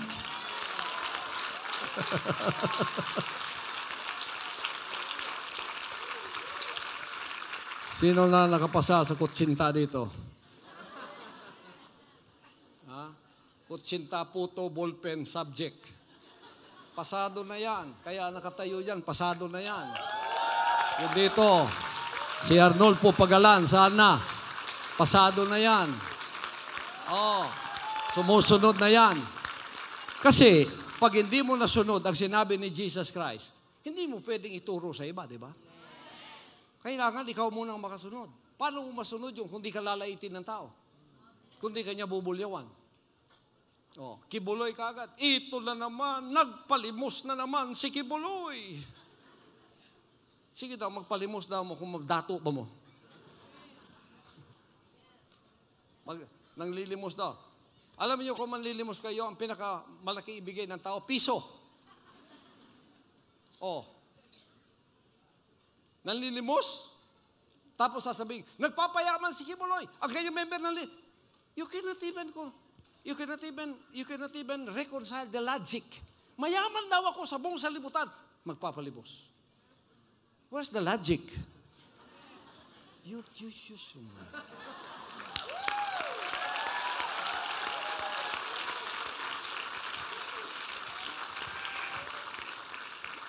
Hmm.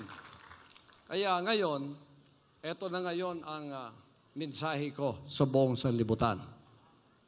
Mga kapatid, ang ministry ito, pinagpala ng Ama. You know when He sent me? The Father said to me, I will bless you wherever you go. Yes. I will bless you wherever you go. Bag ko, dala. That was 30 years ago when he called me. Isang maleta lang. After those years, I came back and he blessed me wherever I go. You put me into a mountain, the mountain will become a city. You put me in a city, I will build a city within a city. It is the Father's blessing. Pag ang kamay ng Diyos nasa iyo, pagpapalain ka niya. Tulad kay Joseph. Joseph was blessed. Punta siya sa bahay ni Potiphar, yumaman si Potiphar. Kahit saan siya punta. Pero nyo, isang taga third world country, punta ng Amerika, i-conquer mo ang Amerika. Now I am in the 50 states of United States. Every, every state, we have a KLC. Pilipino, third world country pa. Pupunta ka doon para i-conquer ang Amerika, Canada, Europe, lahat. And wherever I go, the people will flock to my place. And they will listen to the words of the Father because they are the sheep that the Father has set me to call and be chosen. Yan ang ministry ko. Kahit saan ako, pinagpapala ko. Deuteronomy chapter 28 verses 1 to 14. I will bless you in the city. I'll bless you in the field. I'll bless whatever your hands touches. Pero kahit anak ako, hindi madali yung pagbe-bless sa akin, dapat mapatunayan pa rin niya ang ako'y matapat. in the time of blessing, in the time of, uh, of, uh, of poverty, my message is the same. Ngayon, ibabalik ako sa kitbog. As long as it's the will of the Father, I will leave all of this. I am only attached to the will of the Father.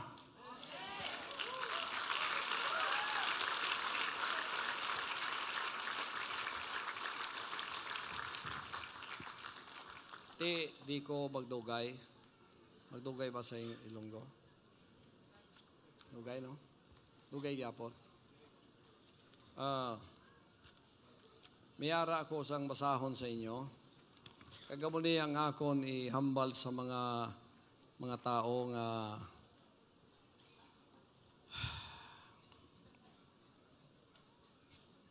nga gusto mamanggaranon gid sang kadali.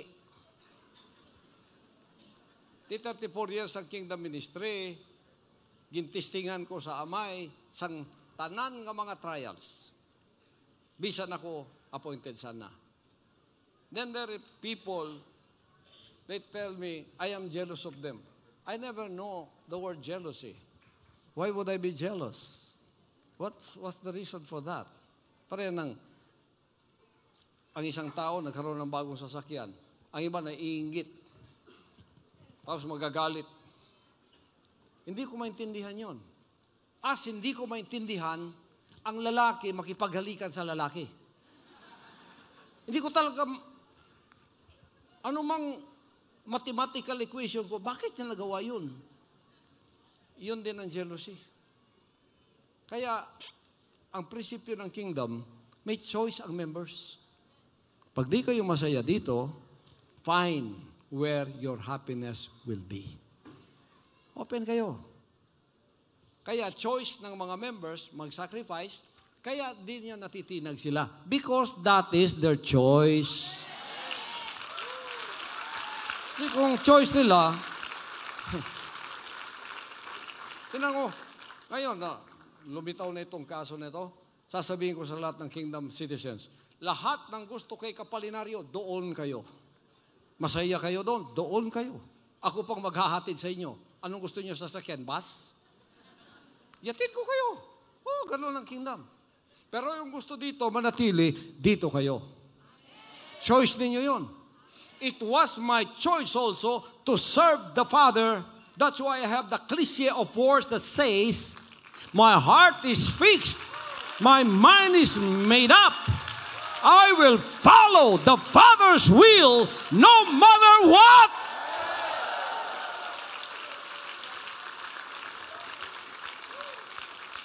Eh, yung ibang mga tao, pag nakikita nila ako, nakikita nila sa akin, pera, sasakyan, jet, bahay, compound. Those are just bonuses in my ministry. Ang pinaka-importante sa ministry ito, yung mensahe na makapagliligtas sa tao. That's it.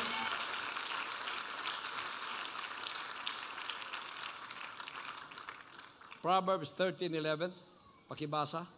Isa lang muna yan ha, pero magtuturo ako next Sunday sa temang ito doon sa Digos. Tuturuan ko yung mga taga-Digos. Ah, di pa tayo Digos? Kagayan pa. Ah, kahit Kagayan, tuturuan ko na. Taga dire. Why ko yaga tudlo sang sining ang mga uh, subject? Kay nga ah, wala dire kapakapa mo.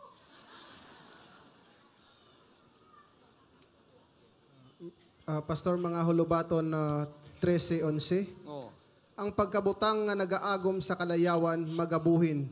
Apang ang nagatipon sa pagpangabudlay, magadugang. Uh, uh, repeat please. Ang Uh, hulubaton na 13, uh, 11, Pastor. Ang pagkabutang nga naagom sa kadaya, kadayawan, ang pagkabutang o ang manggad nga ginbatunan sa kadayawan, kadayawan magabuhin. magabuhin. Magabuhin.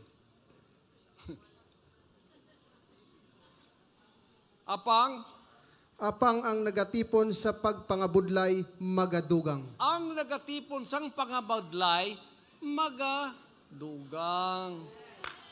Di damo sang Pilipino nga dawan tamad bala. Butang kwarta ko na. 30% taman, tuway isang pangabudlay. Te, ano ang kapalaran mo da? Why gid? So that is just one. I will be preaching about this more and more. And uh, I am just including this in my message here so that everybody will be forewarned for what the future will be for this country. Palipayon bala ka mo mga kauturan. Let's give him one big hand clap offering. Kaya binigyan niya ako ng malaking pagkakataong bumalik dito upang aking isa-isay sa inyo ang pag-ibig ng ating dakilang Ama para sa inyong lahat. Hallelujah, hallelujah. Praise the Father's name. Amen.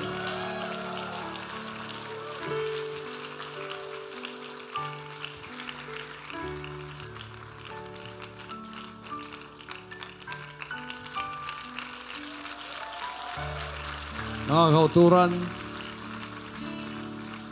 kung damo man naakig sa akon nga mensahe, mas madamo ang nagapaghigugma sa akon bangod ini nga mensahe.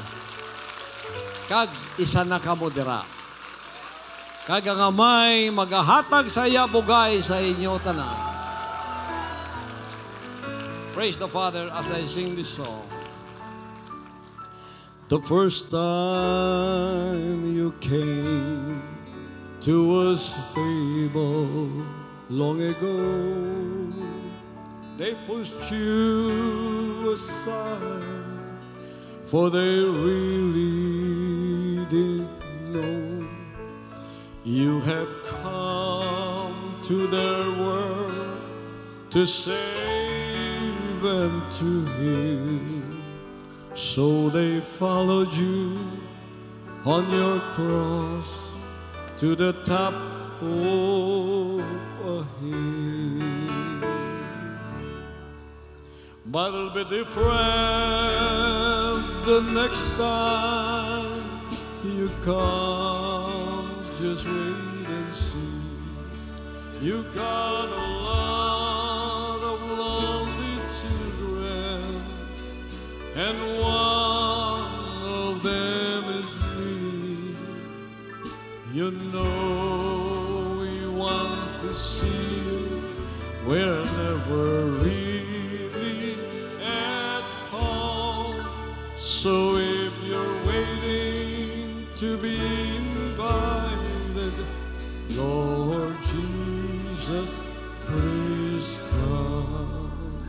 Take the echo. Minutes seem like hours, and the hours like days. I don't know how long you've waited, but it seems it's been always. Just to think the God of glory came and flesh like a man. But the thanks you've got for coming was the nails through your hands. But it'll be different the next time you come. Just wait and see.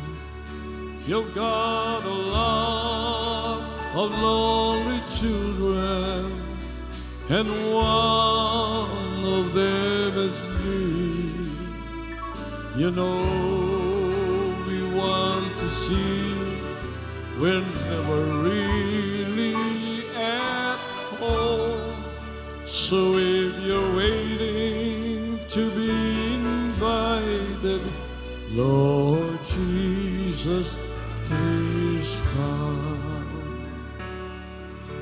But it'll be different the next time you come. Just wait and see.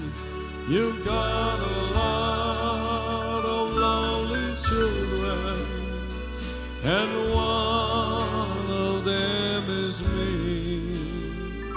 You know we want to see you. We're never So if you're waiting to be invited, Lord Jesus, please come.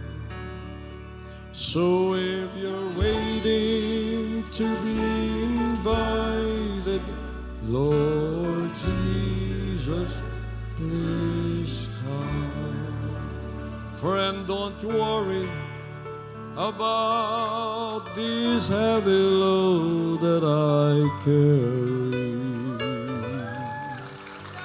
Don't be concerned if they send me to my knees. For I know a place whereon my load and I'll be alright soon as I reach Calvary. And if my feeble hands of faith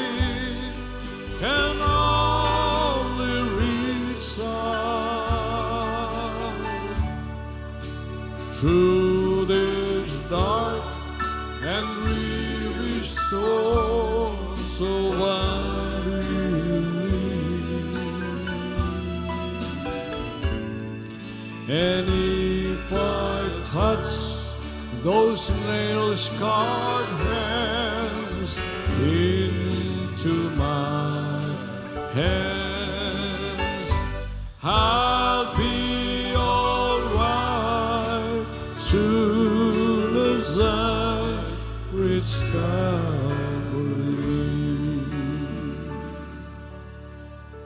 Pretty soon now, I'm gonna reach that hill Golgotha. I'll touch the cross that was fashioned from a tree. And if just one precious drop of his blood touches me, I'll be alright soon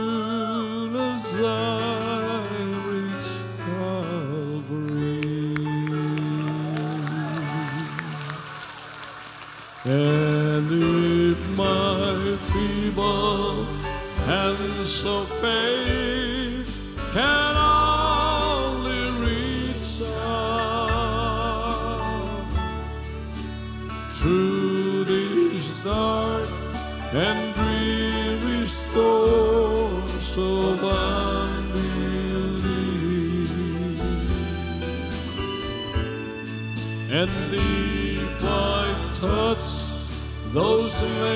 God.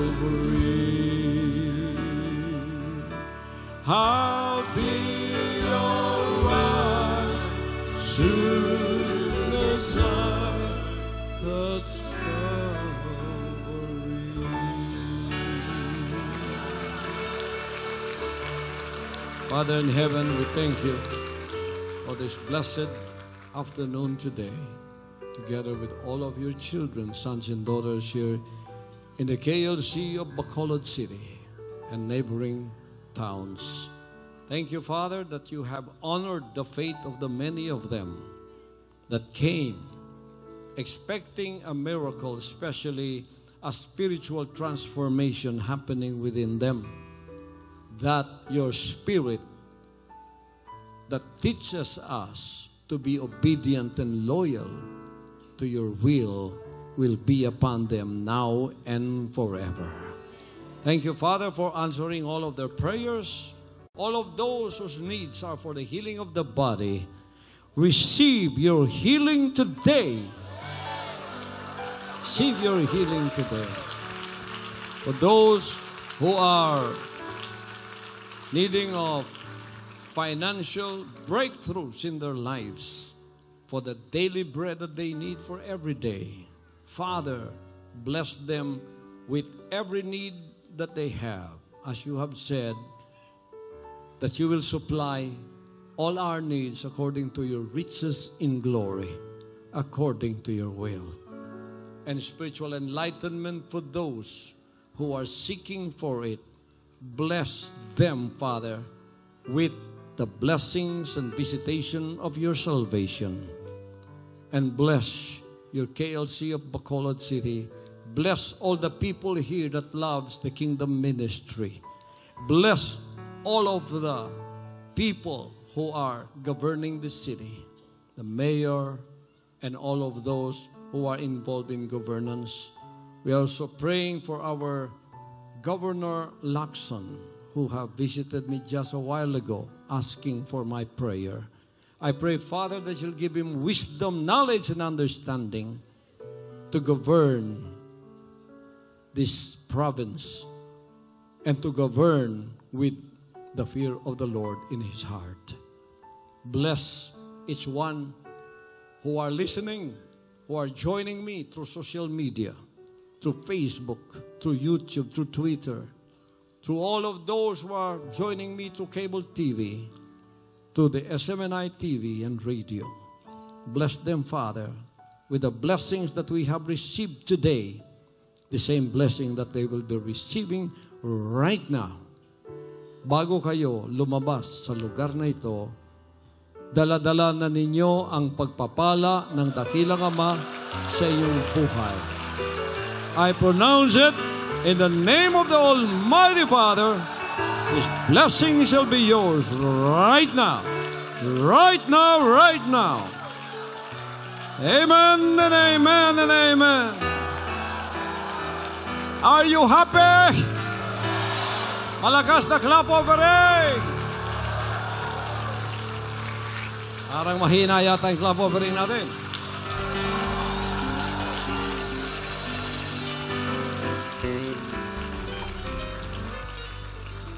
Talaga bang masaya kayo? Amen? Awit tayo ng isang masayang awit. At doon tayo pupunta isang araw.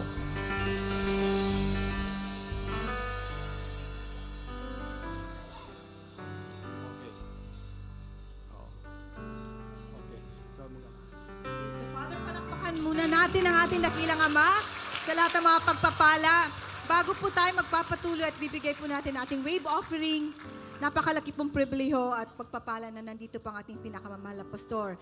And uh, we would like to take this opportunity to call on Attorney John Orola, the City Administrator of Bacolod City, that will be handing to our beloved pastor the symbolic key to the city as a token of friendship to Pastor Apollo C. Kibuloy on June 16, 2019 from Attorney Edvilio R. Leonardina, the City Mayor of Bacolod. Ayan.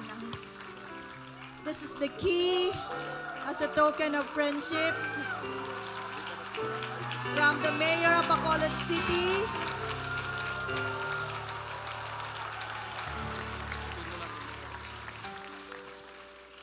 My beloved people of Bacolod, uh, on behalf of the Mayor, Evilio Bing Lunardia, who assured me that wherever the pastor will come, will go tonight, he will follow. He is just requesting if it is for 15 minutes more or 30 minutes more because there's still an ongoing event at the government center with Senator Bongo. But he assured me that uh, he would like to be here, and but he assured me to be there to see the great pastor. Thank you. So, on behalf of the people of Bacolod, the Mayor B- Emilio Bignardia, we're presenting the symbolic key to the great pastor of the kingdom of Jesus Christ, Pastor K. Ibuloy. Thank you very much. Thank you, sir. Praise the Father. I appreciate it, and we thank God for it. Pastor, thank you so much. And there's another plaque. It is a plaque of appreciation, still given by the city mayor of Bacolod City. I would like to read the plaque of appreciation given to Pastor Apollo C. Kibulo of the Kingdom of Jesus Christ, the name above every name, as an expression of our respect and gratitude for his untiring effort and invaluable service to the people of Bacolod City for the past 25 years through his passionate and uncompromising teaching of the true gospel of Jesus Christ, leading men unto the perfect will of God, given the 16th of June 2019 at SMX Convention Center, Bacolod City, Philippines. Signed by Attorney Evilio R. Yun- of the city of Bacolod. Once again, on behalf of Mayor Emilio Bing Loredia and the people of Bacolod, we're we are presenting this plaque of appreciation to Pastor Apollo C. Kiboloy of the Kingdom of Jesus Christ, the name above every name. Thank you so much.